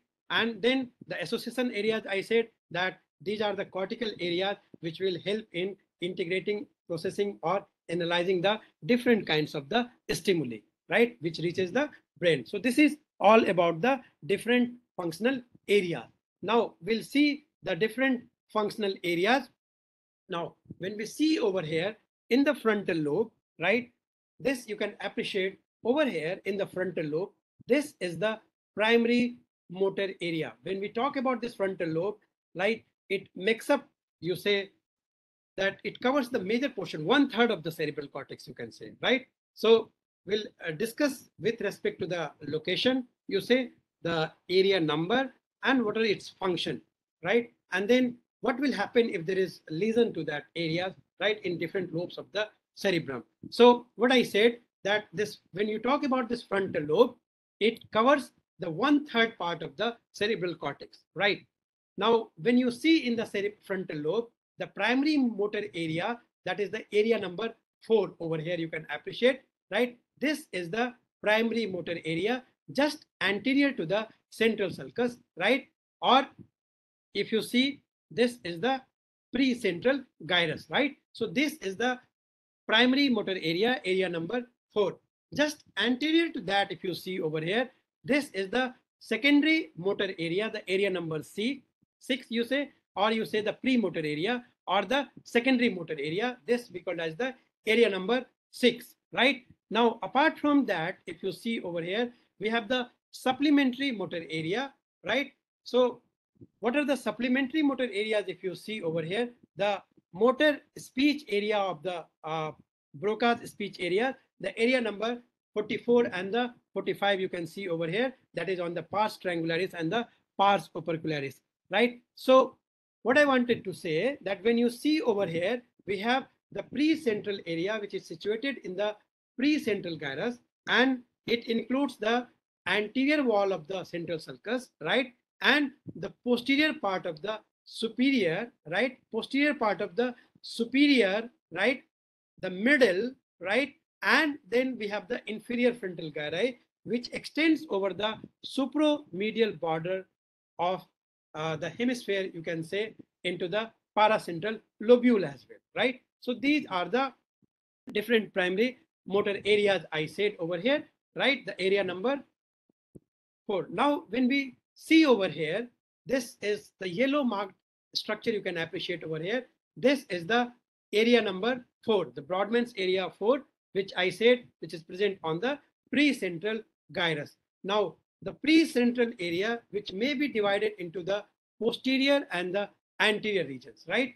Which now, when we talk about the posterior region, which is referred to as the motor area, or the, you say the primary motor area, that is the Brodmann area 4, I said, right? This occupies the precentral gyrus, right, extending over the superior border, uh, superomedial border, you can say, into the paracentral lobule, right? Now, when we see over here, it controls the voluntary motor activities, right, of the opposite half of the body, right? This primary motor area, I said that this controls the voluntary motor activities of the opposite half of the body. Now, what are the cells you will be getting over here? The pyramidal cells will be there. That includes the cells of bud, bud uh, Betz, and the 40% of the pyramidal fibers arises from this area. That is the primary motor area. Now, suppose if there is a lesion to this area, what will happen? Right now, if there is a lesion to this area in one hemisphere, produces paralysis of the extremities I'll call later, right? I'm in the lecture.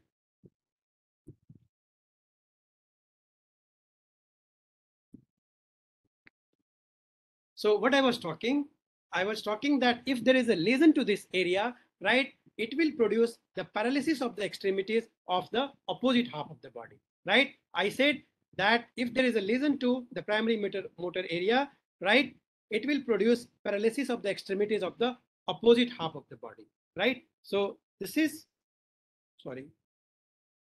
Uh, now, this diagram is very important, right?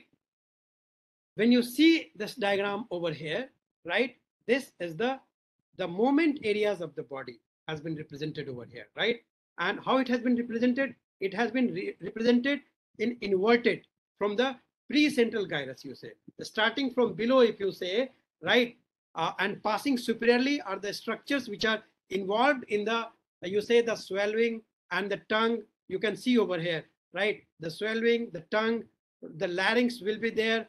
You have this eyelid, the eyebrow, right? And the next area which you can appreciate over here is the extensive region of the movements like the fingers, right? Especially the thumb you can appreciate over here. Then you have the hand, the wrist you can appreciate over here, right? Then you have the elbow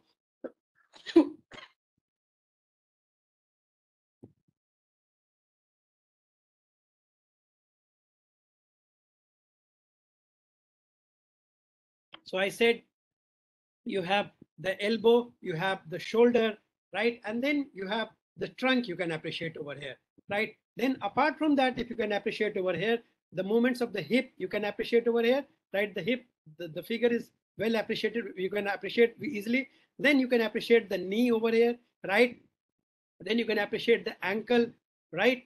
So these are represented in the highest areas of the precentral gyrus, you can say, right? And the movements of the toes, if, if you can appreciate over here, uh, this, this is presented on the, the medial surface of the, the cerebral hemisphere in the paracentral lobule, right? So this, if we see the, uh, the movements of the anal and the vesical sphincters are also located in the paracentral lobule. So the area of the cortex which are controlling a particular movement is proportional, right, to the degree of skill involved in the movement, right, in performing the movement you say, or and is unrelated to the mass of muscle participating in the movement, right? Whatever the movement uh, means the degree of skill is involved, accordingly, the area has been given, right? So the size of the area is proportional to the degree of is, uh, skill involved with the movement. You can see over here, the this area is more covered. Over here, you can see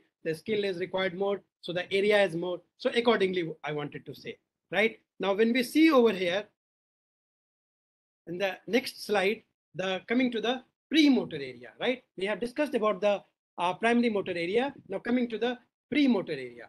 Now, when we see this, uh, the premotor area, this is the anterior region and this anterior region, it is called as the premotor area or you say the secondary motor area. The area number six, you say the Brodmann area is six.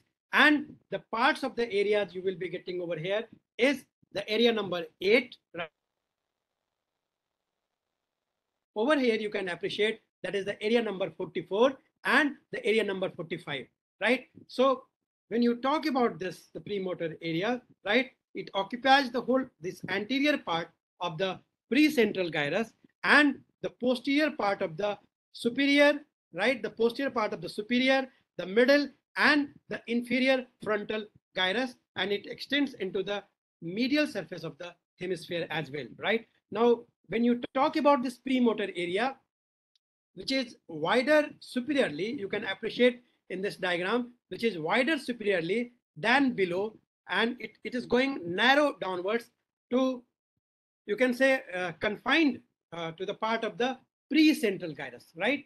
And when we talk structurally, structurally, it doesn't have any, uh, the giant pyramidal cells of the Betz, you can say, right? So when the electrical stimulation of this premotor area is produced, uh, uh, is there, right? What happens that it produces the muscular movements, you say, the, which is similar to those which are obtained by the stimulation of the primary motor area. So this is all uh, you can say about uh, the stimulation or you say the premotor area. What I wanted to say that whenever stimulation uh, will be to this area, right, in the uh, movements of the, you say the opposite or the contralateral limbs, there will be a stronger stimulus is required.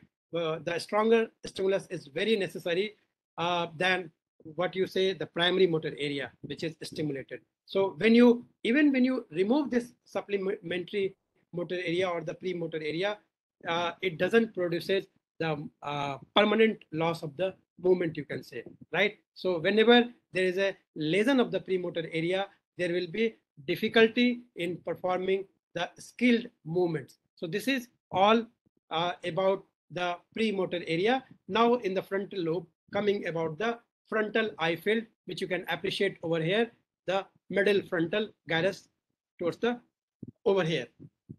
Now, in the when you see this frontal eye field, right, it extends forward, right? It extends forwards from the frontal area of the precentral gyrus, right? So when you see over here, this is the precentral gyrus and this is the frontal area. You can appreciate the that the anterior or the facial area of the precentral gyrus, you say, and it extends into the middle frontal gyrus. You can appreciate over here, right? The parts of the Brodmann area, you can say the six, eight, and the nine. This is the over here, you can say the area number six, and over here, you will be getting the area number eight, and similarly, you will be getting the nine, right? So these are the parts of the Brodmann areas of six, eight, and nine, right? Now, what happens that whenever you will be giving the stimulation of to this region, right? The uh, stimulation, I mean to say the electrical stimulation to this region, it will cause the conjugate movement of the eye.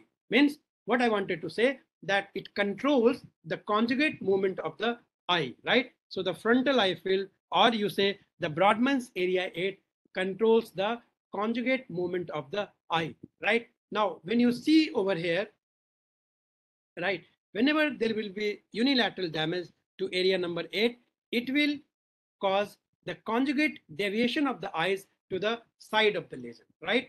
What I said that whenever there will be lesion, right, this area number 8 will be affected, right? It will cause the conjugate deviation of the eyes to the side of the lesion, right? So this is all about the frontal eye field.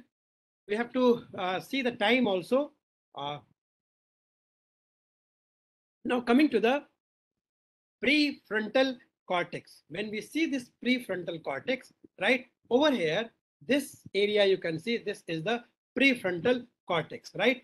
Now in front of the premotor area, you say, right? It is called as the pre. You have the motor area, you have the, this is the primary motor area, this is the a premotor area you can say over here, right? Then you have the frontal eye field. And then what I was talking right now is the prefrontal cortex that is in front of the premotor area. This is the prefrontal cortex. Now, when we talk about this prefrontal cortex, these are highly developed in the human beings, right? So this, and you can see that how much area it is covering. So when we see this prefrontal cortex, it covers extensive area, the wide area, right? And which is present anterior to the pre-central area and it includes the greater parts of the superior, the middle and the inferior frontal gyri. The orbital gyri you will be getting towards the medial aspect, uh, inferiorly you can say, right? And most of the medial frontal gyrus will be there, right? Basically you can appreciate. So these are the areas which are being covered by uh, this, you say the area number uh, the you say the nine and the prefrontal cortex you can say or you say the frontal association areas you can say right? What are the functions of this you can say over here right? This regulates the depth of the feeling right? Whatever the feelings are there. So that this regulates the feelings you can say right? So when you say this Brodmann areas like 9 10 11 and 12 all these area you will be getting over here in the anterior half of the cingulate gyrus, you can say, right? Now, coming to the large numbers of the efferent and the efferent pathways will be connecting this prefrontal area, you can say, right, with the other areas of the cerebral cortex, like you have the thalamus, the hypothalamus, and the corpus striatum. So this is all about the prefrontal cortex over here. You can see these are the area number 9 to 12 you can appreciate over here right? Now, this prefrontal area, as I said, is concerned with the, the individual's personality also, right? The makeup of the individual's personality, you can say. So as a result of this, the whatever the inputs are received from the many cortical or the, you say, the subcortical sources, just now I said the cortex, cortex the thalamus, thalamus and the hypothalamus, other parts of the brain, you say, right? So the area which are placed, right, it regulates the personality, the you say the personality of the individual, or you say the person's depth of the feeling, right? So apart from that, it also exerts the you say the initiative and the uh, you say the judgment capacity or the judgment of an individual. So these are the functions or the uh, of the prefrontal area you can say.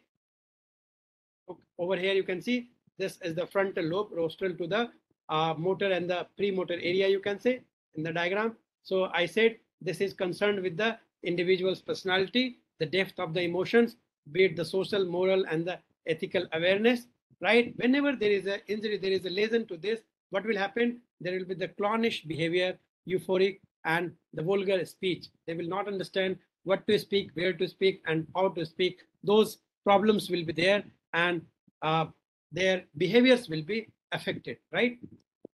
Coming to the the parietal, uh, coming to the this, if you see over here, this is the Broca's speech area, very important. We have already discussed about this pars triangularis and the pars opercularis, right? The pars triangularis is area number 45, whereas the pars opercularis is area number 45 of the inferior frontal gyrus, right?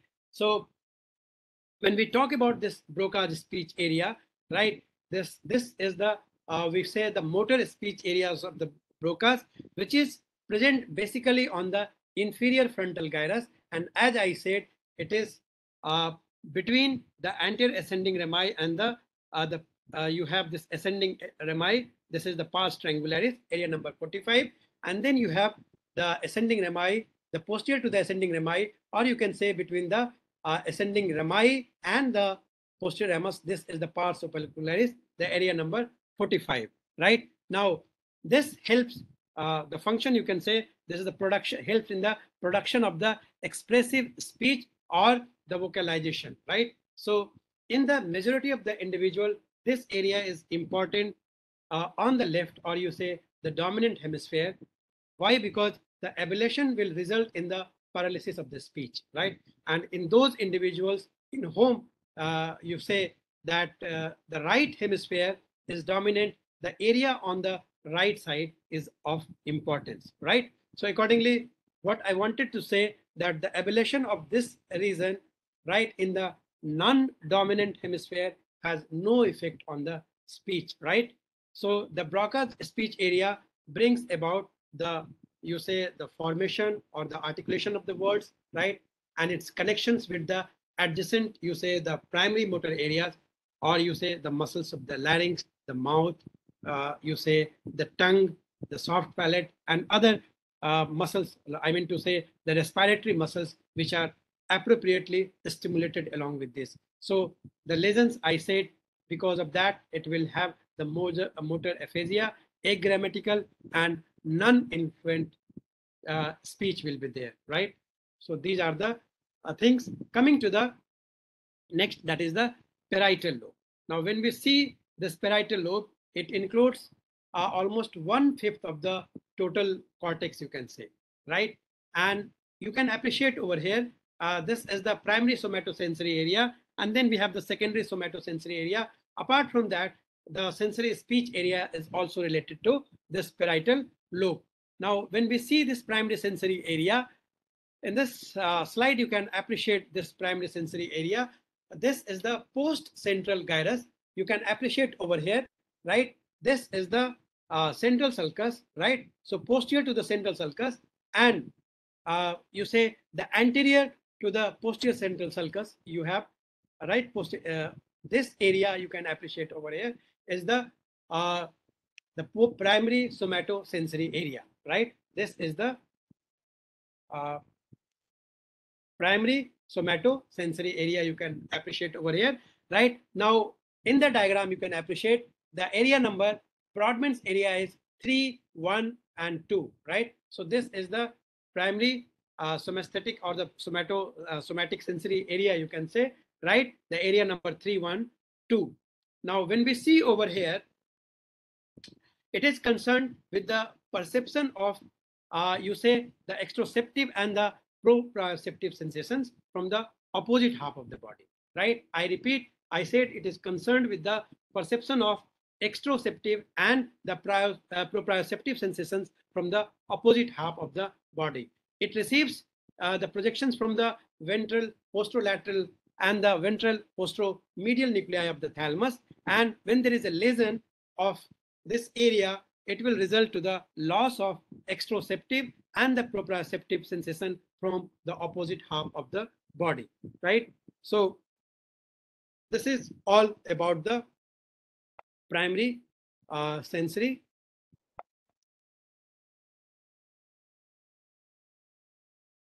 this uh, we have already discussed about this so we'll not uh, repeat again over here but in the diagram again you can appreciate over here the opposite half of the body is uh, rep uh, represented as inverted over here you can see this is the pharyngeal region right the tongue and then you have the teeth gums and the jaws over here you can appreciate right, which are represented in the most inferior part of the post central gyrus, you can say, which is followed by the face you can see over here, right? This is the face. And then if you can appreciate over here, you have the fingers, you have the thumb over here, you have the hand, right? The arm over here, you can appreciate the tongue, trunk over here, right? And the thigh you can appreciate over here, right? And then leg and the foot areas uh, which are found on the medial surface of the hemisphere in the posterior part of the paracentral lobule. Now, apart from that, if you remember, I said even the anal or you say the genital regions are also found in the this paracentral uh, lobule area, right? And when you see this uh, apportioning of the cortex, or you say uh, for a particular or a means a particular area of the body which is related to the functional importance rather than to its size. You can see over here the uh, face and the lips, how much area has been given, right? Similarly, you can see the index finger or the thumb has been particularly given or assigned a larger area, right? So what I said that the size of the cortical areas will be alloc allocated or will be demarcated to each part of the body directly proportional to the number of the sensory receptors present in that part of the body that is regard uh, uh, as per the skill required you say. Now we see over here the secondary uh, somesthetic area you can see over here that is posterior ramus of the lateral sulcus over here. You can see the if you see this posterior ramus of the lateral sulcus over here you can appreciate right? This is the secondary somesthetic area you can appreciate right? There will be the bilateral uh, representation will be there. So when we talk about this secondary somesthetic area it is the superior leaf of the posterior limb you can say right? The upper part of the posterior limb you can say of the lateral sulcus or the fissure you can say. And when we talk about this secondary sensory area which is much smaller right? Which is much smaller and less important you can say than the primary sensory area you can see over here right? And the face area lies anterior and the leg area will be located posterior right? So the function when you see uh, it assists uh, with the integration and the interpretation of the sensation relative to the body position and the orientation in the space you can say right? So bilaterally represented with the contralateral side, the, the dominant you can say. So this is all about the secondary somesthetic area. Coming to the, if you see over here, the another area that is the somesthetic association area, the Brodmann area number five and seven, if you can appreciate, right? The somesthetic sensation, if you see, it occupies the superior parietal lobule, right? you can appreciate over here. This is the parietal lobule and this is the superior part of the parietal lobule, which is extending into the medial surface of the hemisphere. That is the area number five and seven, right? So this area will have many connections, you can say, uh, with the sensory area of the cortex again. And when you say the function of this area, the main function of the area is probably to receive and integrate the different sensory, the modalities you say, right? That is the perception of the shape, size, and the texture of the objects you say. Like when you say the, we can take an example when uh, even it enables uh, individual, right? That when you uh, close some of the one's individual's eyes and you give some of the things in their hand, they can appreciate that, okay, what is there? Suppose it is glass, uh, what is the shape, what is the size, everything they can appreciate, right? And they can recognize even the eyes are closed. So that is the role of this, you can say. So this is all about the somesthetic association area, area number five and seven. Now, when we see this uh, sensory speech area, right, area number uh, 39 and the 40, we have discussed that is the supramarginal gyrus and uh, the angular gyrus you can appreciate over here. That is the uh, area number 39 and then we have the 40, right? Now, when we see this sensory speech area, what is the function? It is responsible for the process of the learning such as reading, writing, and the computing, right? So these are the basically functions of the, you say the area number 39 or the 40, which is located on the angular gyrus and the supramarginal gyrus respectively, you can say, right? Now, when we see the Wernicke's area, if, if you appreciate, right, this Wernicke's area is concerned with the understanding of the speech. That is, you say the interpretation of the language. That is uh, through, you can say, the visual or you can say the auditory input, right? So this, the Wernicke's area, and if you see over here, uh, what I said is the uh, which is uh, the area number 39 or the uh, 40, which is present on the angular or the supramarginal gyrus. These are responsible for the process of the learning, such as reading, writing, and the computing. Then apart from that, what I said that it helps in the interpretation of the language through visual and the auditory input. Now, when we see over here, when there is a lesion to this area, right, there will be loss of ability to understand uh, the what have been spoken and what are the uh, the written speech area will be there. Like uh, they will have difficulty, uh, like Alexia, they will have difficulty in writing the words of the, and they will have difficulty in speaking the uh, or even in the simple calculation they will have problem right that is the acalculia and they will have difficulty in the naming anomia right? So these are the difficulties they will be facing. That is the alexia agraphia acalculia uh, and anomia right? So when we see that these are the things which will be affected.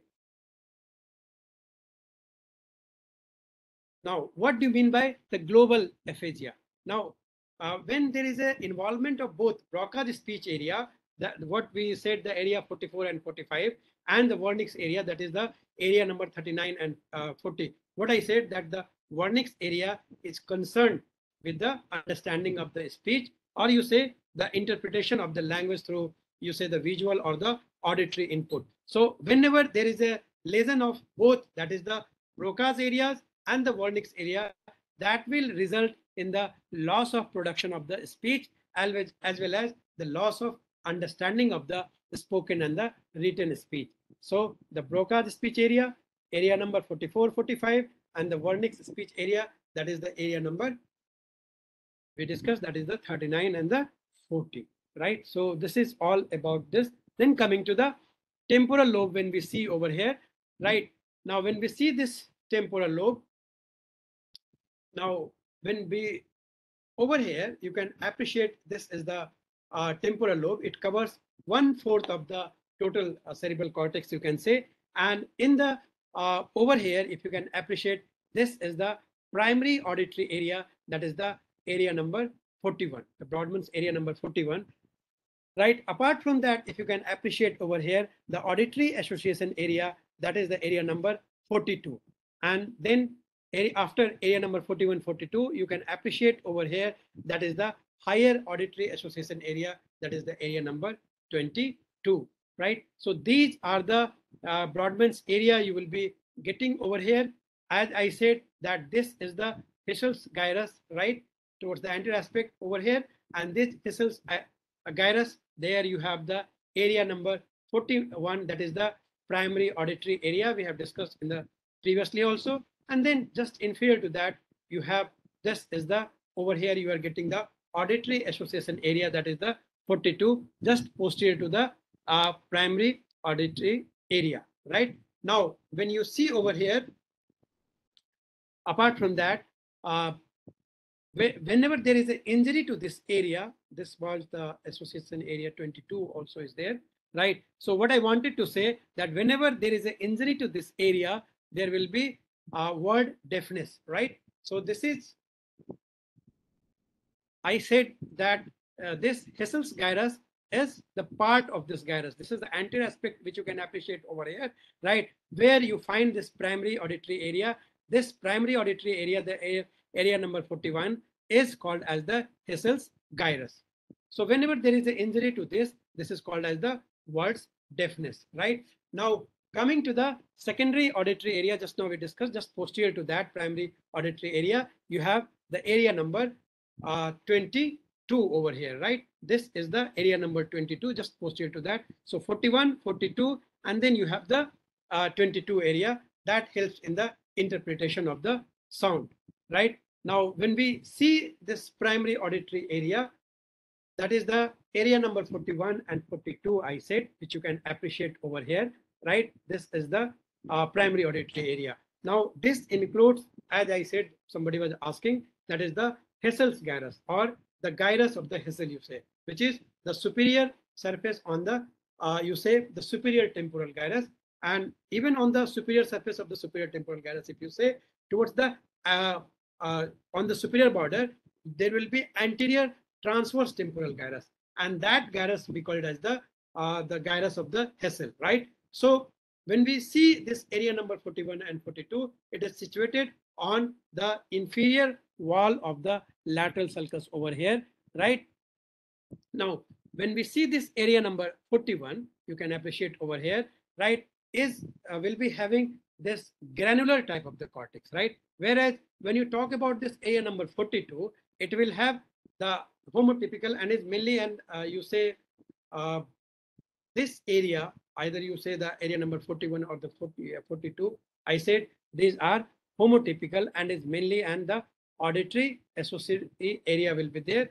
And this, the if you see uh, the area number two, uh, 22, this will help in the interpretation of the sound. So this is all about the temporal lobe. Now coming to the, uh, you say this occipital lobe, apart from that, in this you can very well appreciate the secondary auditory area, the area number 22, which is just situated posterior to the primary auditory area you can appreciate, right? So when you see over here, this is the secondary auditory area, uh, the area number 22, right? Now it receives the impulses from the primary auditory area, which you can appreciate over here. That is the area number 41 and 42 over here, right? Now, apart from that, it also receives inputs from the thalamus, right? Now, what happens that whenever there will be the secondary auditory area, uh, right, uh, thought is there, it will interpret, as I said, that the main role of this secondary auditory area is the interpretation of the sounds, right? And for the associations of the auditory input with other sensory information, right? Now, coming to the uh, occipital lobe, when we say it is the covers the one fourth of the total cerebral cortex. You can see over here, right? This is the occipital lobe. And in the occipital lobe, if you can appreciate, right, we have time. so it is seven o'clock, right? Sorry for it. it. It been two hours. Okay. Now, when we see over here, this is the primary visual area you can appreciate over here, area number 17, right? Now, when we see over here, this is the primary visual area. You can see this is the, uh, you can appreciate the area number 39, that is the higher visual association area. We have discussed the area number 39 and the 40 also, right? So we have this calcarine sulcus. This is the, uh, uh, over here you have this primary visual area at, at the calcarine sulcus, which is extending towards the superolateral surface, right? Now, what is the basic function which you see? The perception of the isolated visual impressions, like you can say the color, size, form, motion, and the illumination, right? Whenever there is a lesion to this primary visual area, what will happen? There will be homonymous hemianopia. What will happen? That bilateral, either you say the both side, right side or both left side, the uh, lesion will be affected. You can see the both left side in the left homonymous hemianopia due to the lesion of the right occipital lobe. The opposite side has been, the both left side has been affected, right? So that is homonymous hemianopia. Now coming to the secondary visual area, when you see over here, this secondary visual area which surrounds, right? So over here, you have this uh, secondary visual area, the area number 18 and the 19. So over here, you can appreciate this is the area number 18 and over here you have this 19, right? So these relate whatever the received visual informations are there, right? This will be there. So what I wanted to say that the secondary visual area will surround the primary visual area, which you can appreciate over here, right? On the medial as well as even on the superolateral surface of the hemisphere, right? So this area receives the different fibers, you say the afferent fibers from the area number 17 and other cortical areas as well as from the thalamus, right? So when we talk about the function of the secondary visual area, I said it relates the uh, the visual, whatever the visual in, information will be received, it will relate to that, right? So uh, from the primary visual area and apart from that, whatever the past visual experiences were there, right? That also will be interpreted by the secondary visual area. So this will help or you can say this will enable the person to recognize and appreciate what he or she is seeing even in the uh, you say uh, during the dark and all.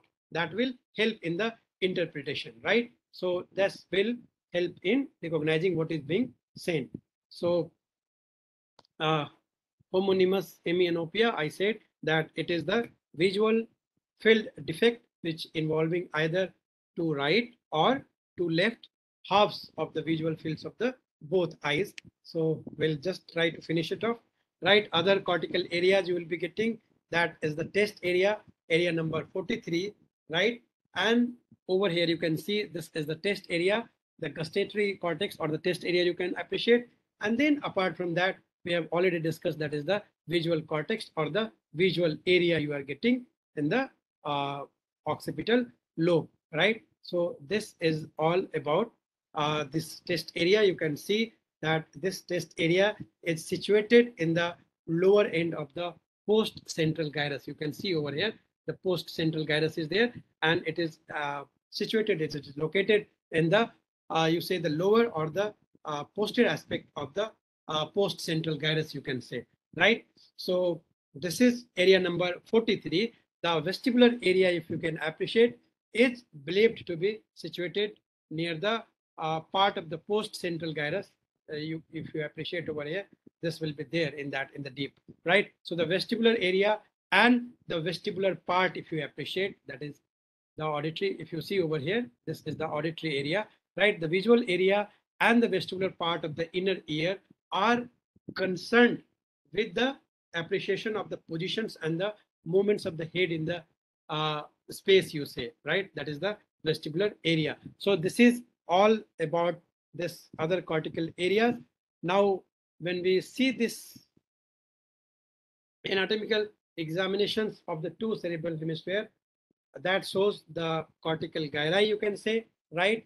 And the fissures, and these are almost identical, you, you can say. But still, there will be the cerebral dominance, though there are uh, similarity. When you see the anatomically, when you examine the cerebral hemisphere, both will be identical, the right and the left cerebral hemispheres are in uh, with reference to the cortical gyri and the fissures, right? So this is all about, I'll just try to finish this. This is all about. Thank you so much. Right, this was very hectic, too long. I think we have taken more than two hours now. I think thank you so much, Dr. Ravi. You know, although it has been very exhaustive, but I would say it was very, very much informative also from your part, wherein you know we have been able to, you know, actually, you know, open up the uh, the, the the the insights of this particular subject, which is anatomy of the cerebral hemisphere. And you know, we do have actually a lot of questions here. So we're not taking much of our time, but I'll ask you a few of the questions which are there on the Q&A panel. I can Right see one uh, question over here. Okay. Uh, can I see the chat box?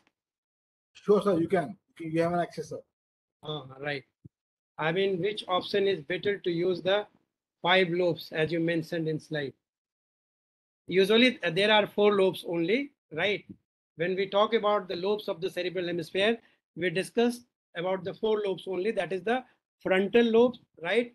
And then we uh, talk about the parietal lobe. Then we have the occipital lobe and the temporal lobe. Because we, cannot see this insula, that is the fifth lobe, which is deeply situated. I said that when you uh, reflect, uh, right, the two lips uh, at the lateral sulcus, right, the stem of the lateral sulcus, then only you will be able to see uh, this, the, uh, you say the insula, that is the fifth lobe. So when the options are there, usually it is the four lobes only. Right, then, okay. So there Uh, are some more questions like, you know, uh, there were some, uh, some general question also. So they want to know that, like, you know, what kind of, in examination point of view, Uh-huh. what kind of questions will be asked, you know, in this particular Ah. segment? Uh, Right, in the very important question, right, you must know because this, if you see the cerebral hemisphere, that may be asked as a long question, right? So you have to describe the external features, right? The external features of the or the gross features of the this cerebral hemisphere and add a note add a note on the functional areas, right? And apart from that, the blood supply of the cerebral hemisphere, that blood supply of the brain itself is a long uh, uh, means it, it's a separate lecture i will be taking in a different uh, lecture right? So the question in the uh, university examination, it is asked as the external, describe the external features with the suitable diagram, right? And add a note on the, or you can uh, get a separate questions, describe the functional areas of the uh, cerebral cortex, whatever was there, or the blood supply of the cerebrum, right? Or the brain. So this way the questions are asked, right? So the first year MBBS would you give an idea questions will be asked, right? So this is way uh, the questions are asked uh, regarding the long questions. Short questions maybe only to draw the diagram of the different uh, surfaces, right? Or you can say the insula or the, the different uh, lobes, different poles, all these diagrams can be asked. In the MCQs, the different areas, the functional areas can be asked that, okay, what are the Broca's speech area? What are the Wernicke's areas? All these, what are the primary motor areas? These questions may be asked as a uh, uh, MCQ. Then apart from that, even uh, you may be asked, su- suppose uh, this Broca's speech area, there will be lesion, the uh, case based you may be asked, right, in the MCQ, that suppose this area, there will be lesion in this area, what are the uh, features you will be getting, right? What are the conditions, the abnormal conditions, the clinical features you will be getting in the patients? So those questions you might get uh, uh, with reference to the examinations, you can say, right? Then somebody is asking, Uh, so there are questions, you know, which are there. What is the histogenesis of brain? histogenesis, see, this is histo histologic. Uh, I have not covered over here. That will be dealt in the separate class. If I say, we will discuss. That's why today, because I was sure that it will be long question, long two hours it is there, one question. So we will try to cover another lecture on the histology of the cerebrum or the cerebellum, right? So that's the reason I didn't discuss much about the histogenesis. Another question I'm getting about the cerebral dominance. So what do you mean by the cerebral uh, dominance? As I said, that whenever you see the cortical gyri, you say, or the features uh, you see of the right or the left cerebral hemispheres, both are almost identical, right? But when you see uh, the, in case of the cerebral dominance, the more than 90% of the adult population is right-handed. And therefore, you can see that the left hemisphere is dominant. So cerebral dominance can be defined as the uh, the ability of the individual of the one cerebral hemis- hemisphere you can say which is referred to as the left or uh, the right cerebral hemisphere which is particularly uh, controlling some of the particular uh, task you can say right? So this is all about then. Okay another question i'm getting that is global aphasia. Just now i mentioned that when both lesions will be there that is the Wernicke's area and the Broca's speech area. The uh, Broca's speech area, that is the area number 44 and the area number 45, if both are involved and the Wernicke's areas, that is area number 39 and 45, uh, 40, both are involved, there will be loss of the production of the speech, right? As well as even the loss of the understanding of the spoken and the written speech. So that will together it is called as the uh, global aphasia, right? So this is all about. I think more questions I can take on the uh, email. You can note down my email, right? Already it is uh, two hours, 10 minutes. I think we have. Yes, sir. Yes, sir. In fact, in fact, you Oh. know what I'm we gonna do is there are questions, more questions, no doubt about it, and there are also more topics wherein the student wants you to conduct a uh, session on those topics. So I'll share with you. Already Wolters. Kluwer is requesting four, five lectures. So we'll take individually, right? Next, uh, Sure, you sir. can note uh, the blood supply of the brain is for the different institutions because last time from the Wolters Kluwer, I have taken this lecture.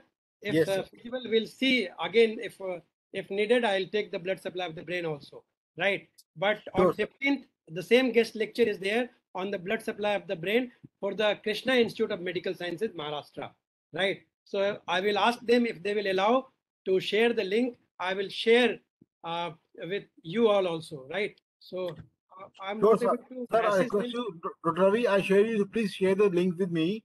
So what I'll do is I'll share with my uh, part of the, you know, people that and the students that we have in our databases. And I'll share Okay. the same link with all the people so people Right. can join and get the, you know, the, the information that they need. So why I'm not able to type the message? Okay, are you able to see my email ID? Uh, just hold on, sir. I'll let me check. Yes, Okay, sir. so It's there. can Any questions are there? You can, you are most welcome. And then uh, I'll try to share the WhatsApp link. Um, uh, sorry, not WhatsApp link. The Zoom link uh, of the Krishna Institute of Medical Sciences, if they will allow to attend the uh, guest lecture on the blood supply of the brain, which is scheduled on 15th of this month. Right. Sure, sir. Sure, sir. Sure. Definitely, sir. Please share the link. Share the link Right. with us also, so we can also populate this link with the other And people. don't worry, uh, uh, from the Wolters Kluwer, I will I will be taking five more four lectures. I guess they are uh, uh, saying so. Whatever topics you want, you just uh, message or mail to us. Right? We will consider those topics definitely. Sure, sir. Sure, sir. Uh, sure, sir. Definitely, sir. So, uh, sir, thank you so much, Dr. Ravi. You, you have been a very, you know, very, very, you know, uh, you know, auspicious. I would say, uh, very, very perennial, you know, presenter for Wolters Kluwer, who has actually presented almost like more than 50, almost like 50 sessions for us in last last two years. And yes, sir, we're going to continue your expertise, use of expertise in the subject topic. And yeah, and and for sure. But they should. I would suggest they should read a standard textbook. In the examination, the questions will always from the standard textbook. Right? Yes, absolutely, sir. Hmm. Fact, I've seen I've seen few comments on the feedback form that I've circulated, sir, when they have actually mentioned that this book, the book you have read, actually, Anatomy, has been actually very good in terms of uh, diagrams, in terms of the insight, uh, knowledge of the subject. See, the book uh, is defi- uh, definitely it is not only uh, for your first MBBS. Half of the portion, if you say, it is full of the questions, right? The MCQ and even for the examination, which will be asked in the uh, university examination. So when you see the thickness, you don't uh, see about the thickness because most of the things, half of the things are the MCQ, which you will, which will be helpful in the university examination, which will be helpful in the NEET examination, USMLE and PLAB. So keeping those things in mind, we have continued with the MCQ on the case-based questions, right? And when you talk about the first MBBS, when you go only through the text, the flow charts, and whatever the sum- uh, summaries are there, the key concepts are there, that will be more than enough when you go through the diagrams, right? So I would I would recommend or I would suggest that always try to read the standard textbook, right? Not only the Snell's clinical neuroanatomy, but other standard textbook also, because in the PG examination, in the USMLE or PLAB, the questions will be from the standard textbook. Remember this, right? So uh, even the topper, the first uh, topper means uh, of the NEET PG, she had shared that this book has helped her a lot in clearing the entrance examination, right? So definitely this will be useful because again during the. Examination, you will have to read these books, standard textbook. So why not from the beginning, right? Absolutely, sir. Absolutely, very well said, sir. You know the you know the recent PG topper, uh, you know, in NEET PG, you know, she has actually recommended this textbook, and we have Uh, you please share me with the video, the video, sir. I will share that video with the my colleagues also, right? I'll do that, sir. I'll do that, sir. I'll do that for sure. Thank you so I much. Thank, uh, for, at the end, I want to conclude this session. Thank Dr. Satish Kumar Ravi for conducting this session. Very informative. We got very good, uh, you know, uh, registration as well as attendance. And also, uh, in future, we'll be requesting Dr. Ravi to conduct more such sessions for Wolters Kluwers and also for the students who are actually seeking for the, you know, the in-depth knowledge and more knowledge in terms of topics that that you know they read. Thank you, sir. Thank you so much, you sir. sir. Thanks a lot. Thanks.